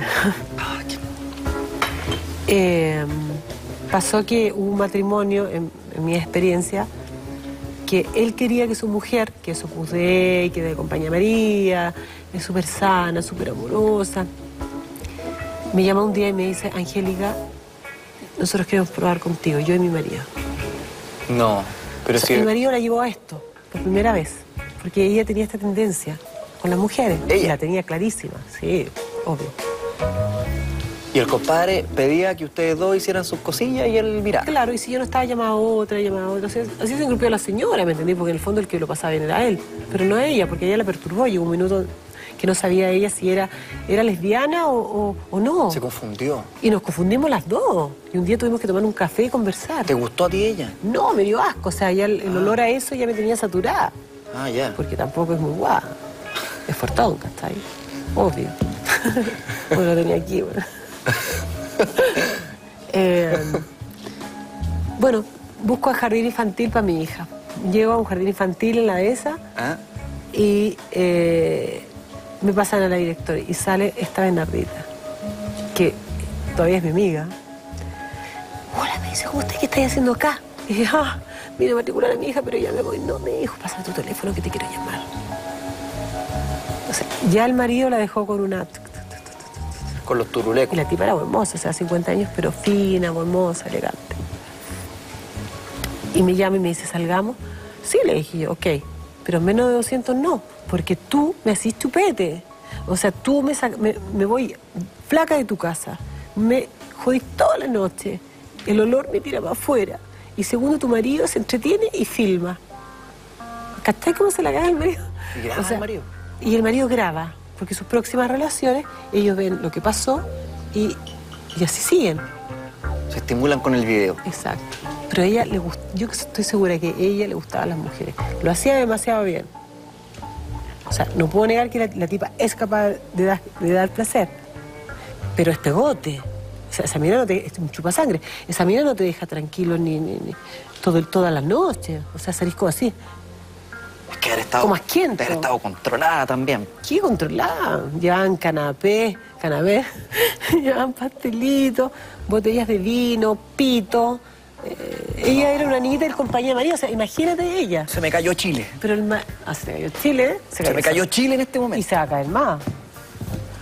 Estamos recién empezando la conversación. Esto, esto, esto es como un barniz. Si me hay otro cosa, seguramente le suelto todo. O sea, las parejas que uno ve muchas veces conservadoras. no Estamos lo en un mundo mentiroso, estamos en un país mentiroso y mientras no seamos verdaderos va a ser muy difícil encontrarnos cuando hay un terremoto. No lloremos cuando hay un terremoto, lloremos cuando nos necesitamos. Es un país mentiroso. Yo soy chilena, también fui mentirosa, pero la mentira alcanza. Y te das cuenta que con la verdad puedes salir adelante. Yo en este minuto sé que con la verdad puedo salir adelante, no hay más. ¿Te pasó algo extraño alguna vez? Algo que tú dijiste, ¿qué le pasa a este compadre?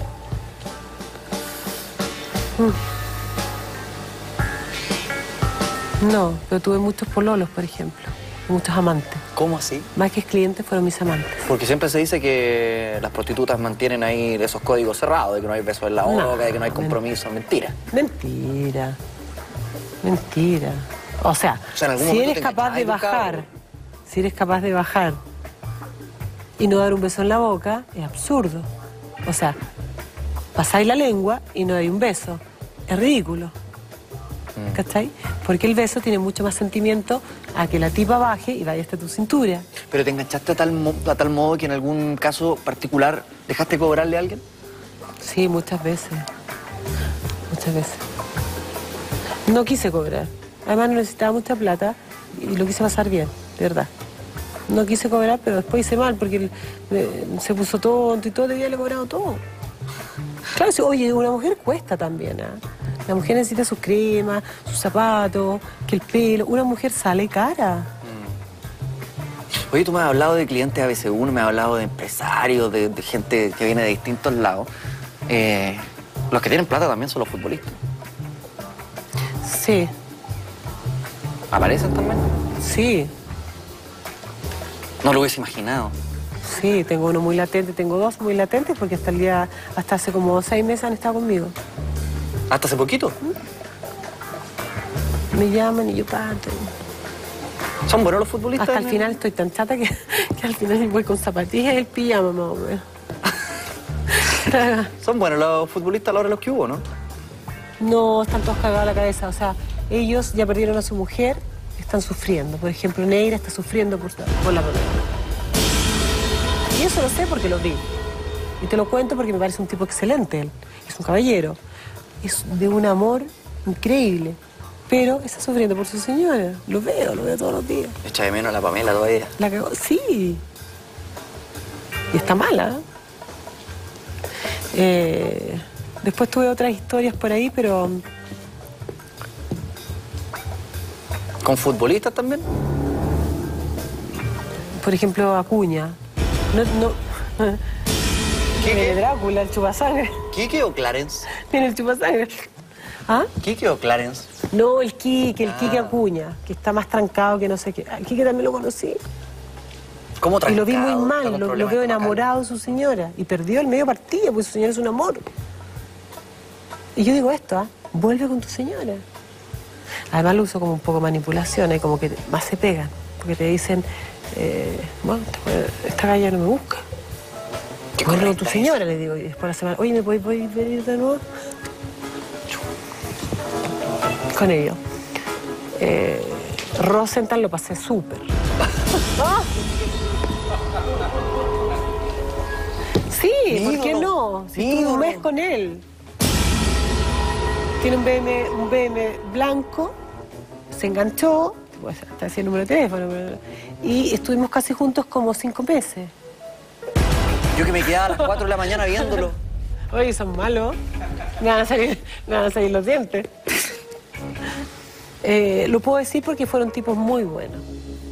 Pero tienen mejor performance los futbolistas que el, que el común de los atléticos, tan resisten más el partido. Sí, el partido. Pero si les dais otra cosa, el partido no dura más de 15 minutos, de 10 minutos.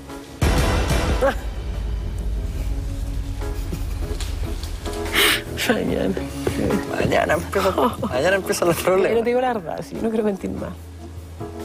¿Por qué te aburriste en algún momento? Ivo de Basay, por ejemplo. Sí. Ivo Basay. Te tengo una tarjeta acá que dice El María hueso. Mesa Confecciones Ivo Basay. Ivo Basay lo quiero contar porque encuentro que es un personaje y tengo tarjetas que me hizo él. Me, me llamó para trabajar con él. Me llamó un día. Ay, me cagaron, voy a seguir riendo con esa música. Oye, pero están saliendo los colmillos. ¿por qué has sido tan enfática en esto de que, de que te aburriste de la mentira, que ahora estás en un proceso de, la verdad? Porque la- mucha mentira aburre. Cuando uno empieza a durar y a crecer y a tratar de cambiar de vida, tú te das cuenta que solo con la verdad puedes llegar donde tú quieres llegar. Esta es mi última carta para jugar.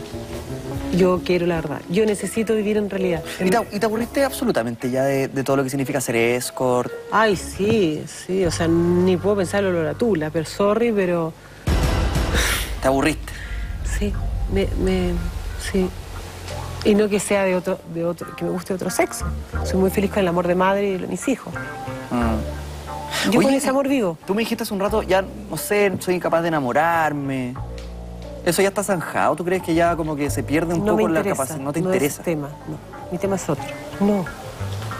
No podría creer en un hombre. Uno. Dos. Soy súper celosa y posesiva. Y eso hace mal.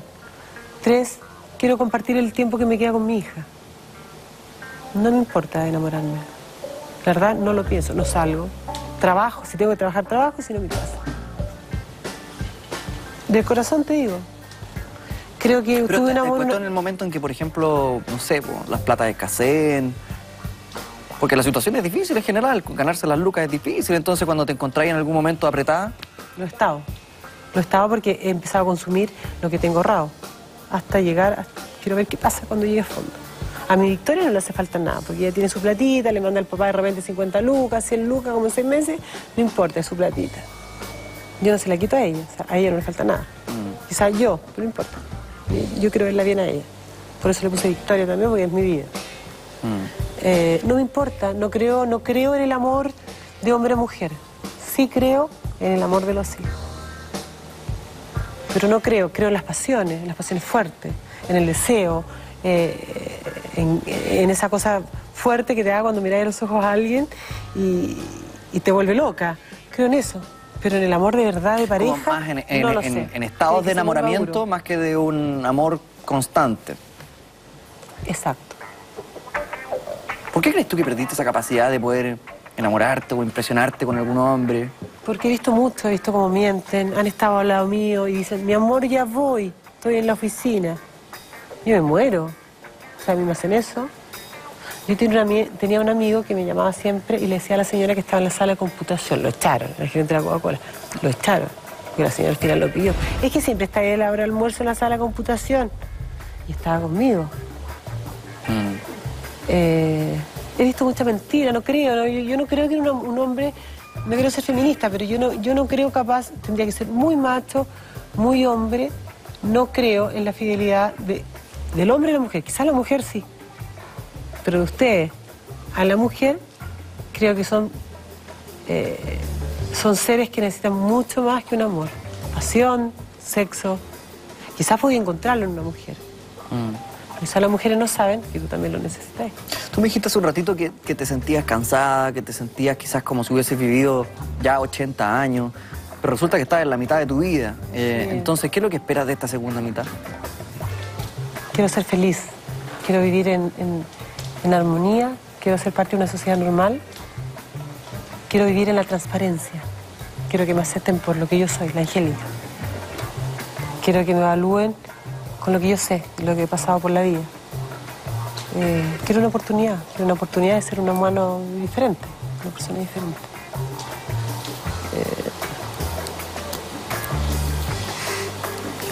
¿Se puede? No sé.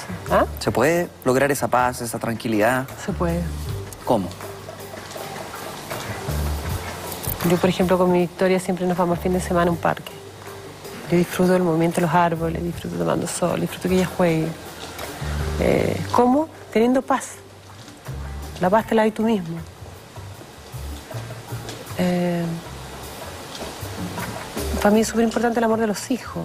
Es lo que me llena a mí de felicidad, no así el amor de hombre. Yo no tengo ninguna pareja en este minuto. Y no salgo con nadie todas las noches, me gusta las nueve de la noche, me levanto con ella, la peino, nos duchamos, qué sé yo, eh, me tomo mi pastilla antidepre eh, y soy feliz así. Yo, yo prometí a mis hijos ciertas cosas. Yo el amor ya lo tuve, pero ahora el amor verdadero lo encuentro en ellos. Para mí no existe otro amor. Ahora que tú te encuentras en otra etapa de tu vida y que miras las cosas para atrás, ya de una, de una etapa más reflexiva quizás, ¿te arrepientes de, de haber sido escort? ¿Te arrepientes de haber estado en la prostitución? Sí. Sí. Yo lo dije al momento de presentarte, pareciera ser que es un momento, o sea, que es una vida que por momentos te pinta grandes pasajes de lujo, dinero fácil. Es que nunca Pero fue parece que al final nunca fue, ¿no? No, me quedé sola. Perdí a mi hijo. Se fue con el papá, me lo tengo a dos cuadras. Pero lo perdí igual. Todo el esfuerzo que yo hice para ellos dos se fue a la mierda. Claro, no era una casa lo que querían. o sea, es que quieren a la mamá al lado. ¿Y con qué cara miráis a tu hijo y le decís, fui a trabajar? ¿Cómo le cagáis la vida a un niño menor? ¿Cómo le cago la vida yo a mi Victoria? Yo me arrepiento enormemente. Ojalá hubiese podido estudiar, ojalá. Tuve muchas promesas, pero ninguna. No tuve un apoyo familiar. Eh, es difícil, ¿ah? Si no es muy fácil. La gente dice, es que podrías hacer si- hizo, eh, eh, haber sido nana. Ok, en este minuto, si, si tengo que ir a enfrentar la prostitución, voy a ir a una agencia, voy a ir con mi Victoria y me contratarán con mi Victoria. Quizá en el sur, no lo sé. Pero voy a empezar una vida nueva, una vida llena, una vida plena, una paz interior que no la tengo. Claro que me arrepiento. Eh, y creo que es completamente autodestructivo. Quizás no le hace mal a su señora ni a él, pero uno como mujer se va matando. O sea, al final no, no aceptas que te toquen nada. Yo no acepto nada de eso. O sea, ya me da pánico. Incluso dudé de mi sexualidad. Qué, qué raro que no quiera, que no quiera nada. Y no es eso tampoco. Es me cansé. No quiero que me agarren más una pechuga así. ¡guau! Tengo silicona, pero no quiero que me la agarren mal. Y te la agarran a veces mal, porque te la tiran por acá por el cuello, ¿cachai? Y uno tiene que después estar con la misma plata arreglándose. Eh, sí, yo creo que creo que, que- creo que estoy arrepentida. Yo creo que Creo que mis hijos se merecen un arrepentimiento. La conclusión siempre es esa, es como son caminos que por momentos te llenan de lujos, de plata más fácil, pero, pero finalmente siempre te merman en quizás lo más importante que es como la autoestima, el orgullo. eh, pero nos interesaba mucho conocer eh, estas historias, conocer eh, estos mundos de los que se habla poco eh, en Chile y también en los medios de comunicación. Por lo mismo queremos agradecerte el hecho que hayas estado en nuestro programa. Es lo mínimo que puedo hacer. Creo que falta tantas historias que este tema es muy largo, es muy profundo y es un tema importante que debería mucha gente considerar. sea, debería mucha gente pensar en que las prostitutas, quizá el 80%, son mujeres que solo piden ser aceptadas como personas.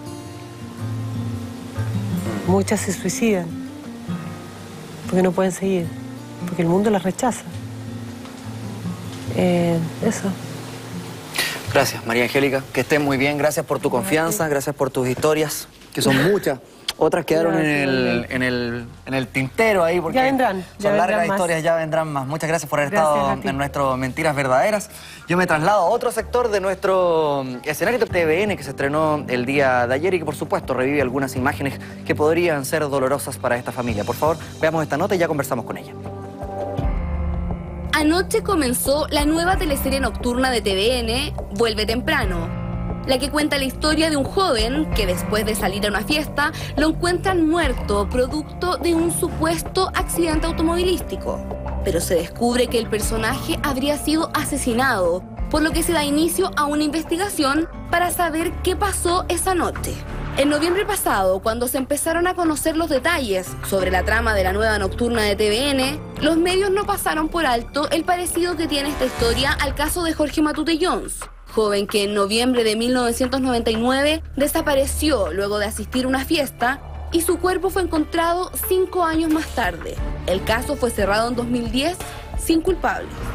Esta noche, la madre de Coque, María Teresa Jones, nos visita para dar a conocer su opinión sobre la serie. Todo esto a semanas de conmemorarse 10 años desde que encontraron el cuerpo de su hijo. María Teresa, lo primero que queremos hacer, junto con darte la bienvenida a nuestro programa, es agradecerte también que estés acá, porque um, fue un día, me imagino, muy difícil en el que recibiste muchos llamados de teléfono. Eh, sin embargo, estás aquí, sentada con nosotros, y eso te lo agradezco mucho. Y gracias a ti también por invitarme, por estar preocupado. ¿Pudiste ver algo de la teleserie del día de ayer de TVN? La verdad de las cosas es que, te soy bien sincera, yo no veo teleseries. Ya.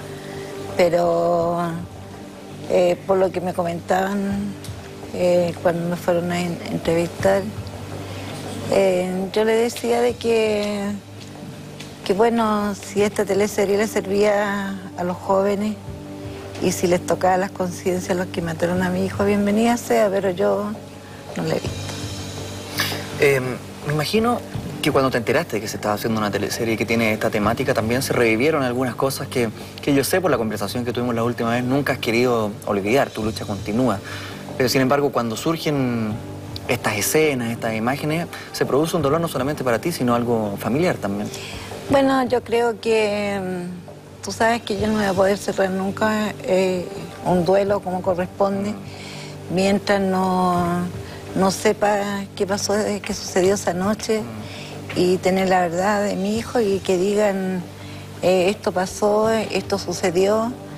Eh, yo creo que no ahí podría asumir un duelo como corresponde. Pero también ves tú, eh, este es una teleserie, una ficción, lo mío es real. Entonces yo creo que, bueno, yo como te digo no lo he visto y si tiene algo parecido, no sé, eh, ¿qué puedo decir yo? María Teresa, ¿sientes que quizás tratando de buscarle la vuelta de tuerca más positiva a esta historia después de que ya han pasado muchos años, desde 1999, quizás estas teleseries que como bien dices tú son ficción, pero también otros episodios de la vida real como el que lamentablemente te ha tocado vivir a ti, ayuden a que los padres estén más pendientes de, sus hijos, de las salidas, de qué es lo que se hace, de dónde se va? Fíjate que eso es lo más importante y pensaba hoy día, creo que esto, esta teleserie le va a servir a los padres, como tanto le he dicho a los papayos, que sean amigos de su hijo, que no solamente eh, le den la plata para que salga o comprarle un auto, porque yo creo que un hijo necesita de, de decirle te quiero, qué te pasa hoy día, cómo te fue en los estudios, cómo te fue en la universidad, ser más amigo que papá, como yo era con mi hijo. Entonces yo creo que esto también a lo mejor me va a servir a mí también, para que las personas que le dieron muerte a mi hijo, quizás al ver estas imágenes, también le remuerda la conciencia y digan, esto sucedió esa noche. ¿Tú sientes que eso pueda pasar? Mira, yo siempre tengo esperanza de cualquier cosa que, que tocar esa conciencia, o sea, sería la mujer más feliz esto que una de las personas que esa noche estuvo. Una persona de las que le, dio, que le dio muerte a mi hijo y lo secuestró, decir esto sucedió señora, esto pasó, porque si tú me preguntas a estas alturas si yo siento odio por esas personas, siento, fíjate qué pena, porque yo no podría vivir con, con la conciencia tranquila de lo que hice. Tú la otra vez que conversamos también me dijiste eh, que es una batalla que no tiene final, eh, que vas a estar siempre atenta a eso. Eh, ¿Crees tú que este tipo de cosas, por ejemplo, esta ficción, ayuda a que se mantenga esa batalla, no solamente en ti, sino también a distintas familias que le ha pasado algo similar? Bueno, la verdad de las cosas, mire, yo creo que aquí en Chile se desaparecen muchas personas diariamente. No solamente uno, son muchos, jóvenes, niños y adultos. Eh, tú sabes muy bien que en Concepción se pierde este niño Maldov, todavía no aparece. En Punta Arena el niño del Salesiano que también todavía no, ha aparecido. Eh, ahora mismo este niño Bastián que tampoco aparece, ¿ves tú? Y tantos más que hemos ayudado nosotros. Yo te contaba la otra vez que teníamos una fundación al cual somos nosotros dos nomás, ves tú, que yo trato de ayudar a las mamás a tocar las puertas que he tocado y bueno, cuando necesitan abogados, tratar de pedirle a los abogados que me lleven al caso mío para que ayuden a esas personas. ¿No sientes que quizás se logró un antes y un después eh, con el caso del Coque, que, se miró la óptica judicial de otra manera, social también, o seguimos con problemas y falencias desde, ese punto de vista? Mira, la verdad de las cosas que yo le pediría al, al gobierno que en estos casos yo creo que la policía tiene que tener más recursos para poder buscar, eh, porque tú sabes que esto eh, eh, se gasta mucho buscando una persona. Mm. Yo sé lo que es estar en, día tras día esperando esto, si va a llegar tu hijo, si lo vas a encontrar con vida tú sabes todo lo incertidumbre. La incertidumbre y todos los distractivos que te, que te hacen, por ejemplo, que está aquí, que, que lo encontramos acá, que puede estar acá, que los llamaron. Imagínate nosotros dónde nos fuimos, dónde nos recorrimos. Fueron cinco años y tanto que marchamos cuando encontramos a Coque. Entonces, ves, todas estas cosas a mí me... Mira, yo ahora tengo la esperanza y le haría un llamado al ministro que asumió ahora en la Corte porque el ministro Rudilar se fue, tengo entendido, que se ponga la mano en el corazón, van a ser 15 años. 15 años se van a cumplir ahora en febrero. El 12. El 12. Y incluso el que está de cumpleaños también en febrero y creo que el llamado que le haría con mamá de que mm, abrían el caso de mi hijo y que yo quiero saber la verdad de mi hijo. Es lo mínimo, es lo mínimo y, y de verdad quiero quiero agradecerte también que hayas estado acá en nuestro programa, porque sabemos lo difícil que es para ustedes como familia completa. Y permíteme también hacerte esa pregunta, ¿cómo se encuentran ustedes hoy como, como familia? Yo sé que tú, sabes que también estuvimos conversando, me hablaste de Alex, que él también vivió un proceso sumamente difícil, tomando casi el, escudo de la familia en un momento, con toda la emoción que eso trae consigo. ¿Cómo están ustedes hoy?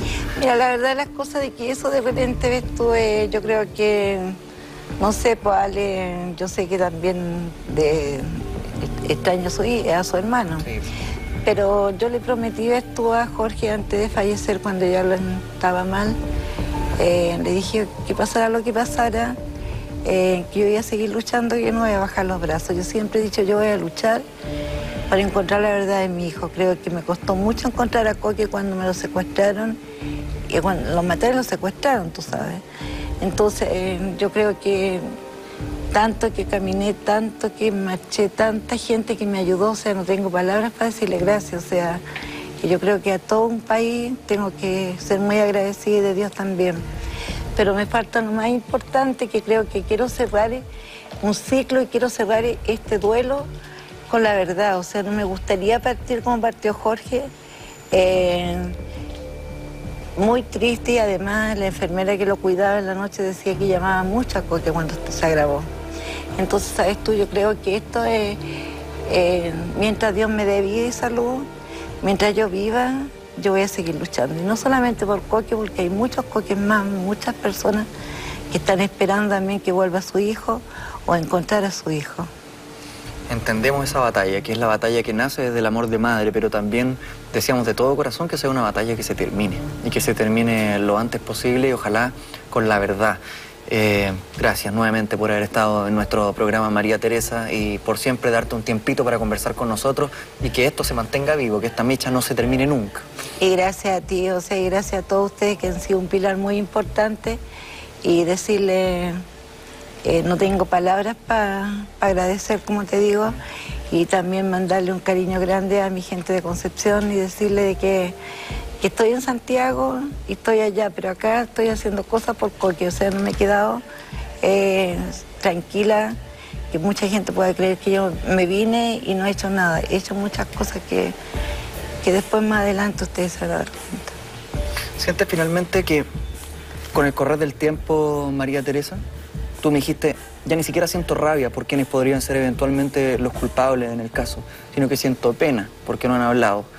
Y así como muta ese sentimiento, hoy día tu sentimiento para con este caso es más de pena, porque no se puede encontrar a los culpables, o pena porque no se puede llegar a una definición ya en estos últimos momentos. ¿Cuál es la sensación de esa evolución de los sentimientos? Mira, la verdad de las cosas yo siento mucha pena y mucha tristeza y impotencia también porque tú ves que yo no he dejado puerta que tocar, o sea, he tocado todas las puertas y sigo tocándolas. Entonces yo digo, ¿quién mató a mi hijo? ¿Quién secuestró a mi hijo? ¿Quién tapa el caso de mi hijo? Esto me lo pregunto todos los días, porque creo que si había tanta gente esa noche, como una de esas personas no iban a saber lo que sucedió. Ahora, Gerardo Roa, eh, te hago un llamado nuevamente. Tú sabes lo que sucedió esa noche con mi hijo, tú lo sacaste. Y tú sabes lo que sucedió, porque si él llama a las 8 de la mañana y dice cuando se recupere Coque que llame, dime tú recuperarse Coque de qué, de la muerte que le habían dado. Entonces Gerardo no sabe lo que le sucedió a mi hijo, porque nunca me acompañó a una misa, nunca me acompañó a una marcha, nunca los familiares se acercaron a mí. Y siendo compañero del primero cuarto medio, por eso Gerardo Roa Navarrete, sé que te cambiaste el nombre, pero los apellidos no creo que te los puedas haber cambiado. Entonces yo creo que también a lo mejor algún día nos podemos encontrar acá en Santiago, así como tú ves, yo me encontré con la perito acá que también la habían dado por fallecida, ¿te acuerdas que te conté? Entonces yo tengo esperanza de esto que, que como yo sé, si tú, si él se creía amigo de mi hijo, si él que le dijo que iban a visitar a un primo que había nacido una guagua y lo, lo invita después a la cucaracha, siento a veces rabia con Coque, ¿por qué fue para allá siendo que él al otro día tenía que ir a la Espocorma? Entonces, yo digo, Gerardo sabe lo que sucedió.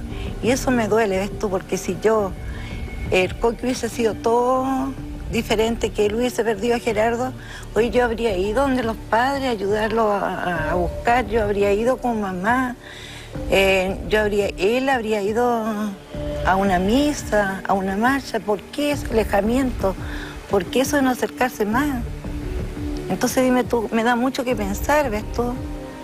Ahora también el padre cuando dijo, cuando se, se iba a sepultar Coqui, iba a decir la verdad, también ves tú nada. Entonces de repente pienso, oye, eh, se ríen de los sentimientos de las personas.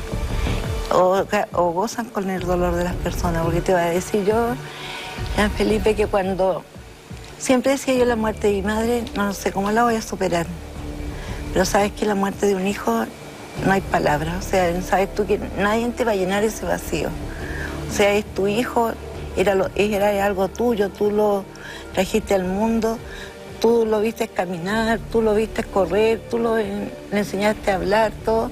Entonces, esto, ¿cómo quieren que yo eh, cierre este ciclo? ¿Cómo quieren que yo me olvide de mi hijo? No me voy a poder olvidar nunca. Y menos en estas circunstancias. O sea, tú ves que son 15 años que se van a cumplir. No son 5 meses ni 5 años. Y, sí, y todos estos años golpeando y golpeando puertas para nada. María Teresa, en algún momento del caso, y disculpa que me quede un poco más en esto, pero, pero no puedo dejarlo pasar. En algunos momentos del caso se dieron nombres, se barajaron teorías, se habló de personas, personas que mantienen silencio hasta el día de hoy. ¿Tú nunca te has podido cruzar con ellos, nunca has podido hablar con ellos, nunca los fuiste a buscar, nunca ellos tocaron tu puerta? No, nunca. Al contrario, en, una, en las oportunidades que llegaban personas que a veces se hacían pasar por periodistas eran para ir a amenazar adentro de mi casa. Y tú sabes que... ¿Qué tipo de amenaza? O sea, decían, eh, una vez me acuerdo que llegaba un... Había una señora de la comisión, porque nosotros formamos una comisión por la verdad y la vida, que eran puras mamás que nos reuníamos, que íbamos a hacer en esta marcha, que íbamos a hacer, eh, qué más podíamos hacer, qué sé yo. Y estábamos esperando, me acuerdo, o sea, yo estábamos esperando, te puedo decir, porque llegaban tantos periodistas, entonces sabes tú de que yo también, yo estaba con ese dolor tan grande que yo llegaban, yo daba una entrevista, decía lo que había hecho, lo que había sucedido, pero no ponía atención, ves tú, quién venía o quién no venía. Entonces una de estas señoras se quedó en la casa, eh, Sonia se llama ella, Sonia Merino, y llega una persona y que es de la revista Cara, que es periodista. Y lo hace pasar, entonces él dice, si yo quisiera hacerla desaparecer y tomo una flor de la mesa del así la hago desaparecer. Eran como las, era como antes de las 8 de la mañana. Entonces después, imagínate, tuve, yo te contaba la otra vez que a mí me atacaron tres veces en Concepción. La última vez me soltaron piezas de dientes que tuve que operarme. Entonces, yo creo que se han ensayado. O sea, yo creo que nosotros hemos sufrido mucho. Hemos, como te digo, hemos hecho todo, no, no sé qué más hacer. O sea, como madre, yo no sé qué más, qué puerta más tocar qué más cosas hacer, cómo tocar en la conciencia a las personas que hicieron esto. Cómo decirle a la gente que estaba ahí, a los jóvenes, o no sé quién más, decirle, por favor, digan qué sucedió esa noche, qué pasó, cuáles fueron las últimas palabras que dijo Coque, porque creo que Coque tiene que haber pensado mucho en mí cuando lo estaban golpeando, le estaban dando muerte. Yo creo que por eso también queríamos conversar contigo a raíz de lo que pasa con esta ficción que, tiene TVN. Existe una dualidad, se puede generar una crítica, decir que quizás son imágenes demasiado violentas o, quizás que a ti te traen malos recuerdos, pero yo quiero eh, creer más en la intención que probablemente tuvo TVN, de que esto sirva como, como una suerte de escuela, yo sé que es muy difícil para los papás poder manejar y poder controlar a dónde sale uno de sus hijos en una determinada noche, a qué lugar, con quiénes se junta. Pero creo que es momento de ponerlo en el tapete también y, de tomar especiales precauciones por lo que pueda pasar. Claro, o sea, mira, yo sé que, de lo que estoy segura sí de mi hijo, que incluso Gerardo Rueda lo dijo por un medio de comunicación, que jamás nunca ha consumido droga. Mm. Después los peritajes, tú sabes que sale si la persona eh, que se haya tomado sus tragos ese día, yo creo que tiene que haberse los tomado, que tampoco no te voy a decir, en, no los tomó. Yo no estaba ahí, viste, tú, pero que tampoco era una persona salidora, que pasara en disco, que fuera un joven que anduviera, estuvo en, tarde en las noches, donde iba me decía, voy a tal parte, mamá, voy a llegar. O sea, nunca ves tú, hubieron mentiras entre mamá, papá o hijo. Mm. Entonces yo creo que por eso fue salir a buscar a mi hijo al tiro cuando Gerardo Roa llama que lo, fuimos a ver, a ver si estaba en la pieza y no estaba Coque. Entonces Coque tenía que estar en la Espocorma eh, ese día. Y partimos con Ale, fuimos al camino de Coronel y empezamos a preguntar a los compañeros de él y nadie sabía nada de Coque. Después nos fuimos a hospitales. Eh, yo partí con un compañero de Coque y otro niño compañero de del Salesiano, Rodrigo Ramírez. Eh, a las morgues, a los hospitales, buscándolo por todos lados y nada. Entonces imagínate cómo fue para mí ese día. Ese día que mi hijo pasaba en la hora, hora y hora, y no estaba en un hospital, no estaba en una morgue, ni tampoco, no tenía ninguna noticia. Nadie me decía, eh, esto pasó, Gerardo puede acercarse, con decirte que cuando yo fui a poner constancia a Carabineros, yo tuve que obligarle prácticamente a Gerardo Roa que viniera a mi casa para ir con él. Y ahí cuando llegué a la, comisaría de, que está cerca del aeropuerto, La Montada, nunca se me va a olvidar que un sargento me dice, señora, me se vaya a ser tranquila porque su hijo lo está pasando chancho. Mira qué bien lo está pasando mi hijo. María Teresa, em, bueno, nos pasamos algunos minutos de nuestra conversación, pero siento que ameritaban porque siempre hablar contigo eh, sé que comprendiendo desde la base el dolor también puede servir para muchas familias que mm, les despiertan ciertas sensaciones la teleserie, la ficción del día de ayer, pero que mucho más preocupante puede ser lo que pasa en la vida real. Y siento que en ese sentido tu testimonio es muy valioso y por eso quiero darte gracias por estar en, nuestro programa. Y yo quiero también darte las gracias a ti, también decirle a todas las personas del elenco TVN que le vaya bien en sus teleseries y ojalá que sirva para que los papás no solamente eh, le den plata a su hijo o, un auto, sino que sean amigos. Y nunca está de más decirle a un hijo, te quiero, eh, qué te pasa, como te decía. O sea, es tan importante y preguntarle también dónde van, con quién van, quiénes son sus amigos que tienen. Porque, mira, los niños van al colegio, después van, eh, entran a la enseñanza media para la universidad. La universidad siempre decía, mi hijo es otro mundo. Ese mundo se van a encontrar con toda clase de personas. O sea, yo siempre dejaba claro, esto van a haber muchas cosas. Entonces, o sea, siempre uno tiene que estarle advirtiendo a nuestros hijos. Entonces, como te digo, ojalá que esto sirva también para que toquen las conciencias, como te decía, de los que mataron y secuestraron a mi hijo. Es de esperar. Nos unimos a esas palabras. Gracias nuevamente, María Teresa Jones, por estar en nuestro Mentiras Verdaderas y darte este tiempito cuando te llamaron. Cuando te llamaron, me imagino mucho el día. Mm. Tú sabes que, yo siempre cuando tú me llames yo voy a estar. Muchas gracias. Tú eres una persona muy especial, te dije la otra vez, aunque después, no sé, alguien dijo que yo había dicho eh, bueno, igual ves tú, el actor se parecía en el pelo crespo, pero yo mm. nunca dije que se parecía a mí. Mm. Pero tú a mí me, me transmite algo y en realidad eres una persona muy especial para mí. Te lo agradezco mucho. Gracias por tu cariño. Que estés muy bien. Muchas gracias. Nosotros nos despedimos, eh, los dejamos. Quédate aquí conmigo para despedir el programa, María Teresa. Como coanimadora, ¿viste? Nos despedimos nosotros, eh, nos encontramos mañana a las 22, 28 haciendo más del Mentiras Verdaderas. Muchas gracias por todo, que estén bien. Que te vaya muy bien en tu programa. Gracias.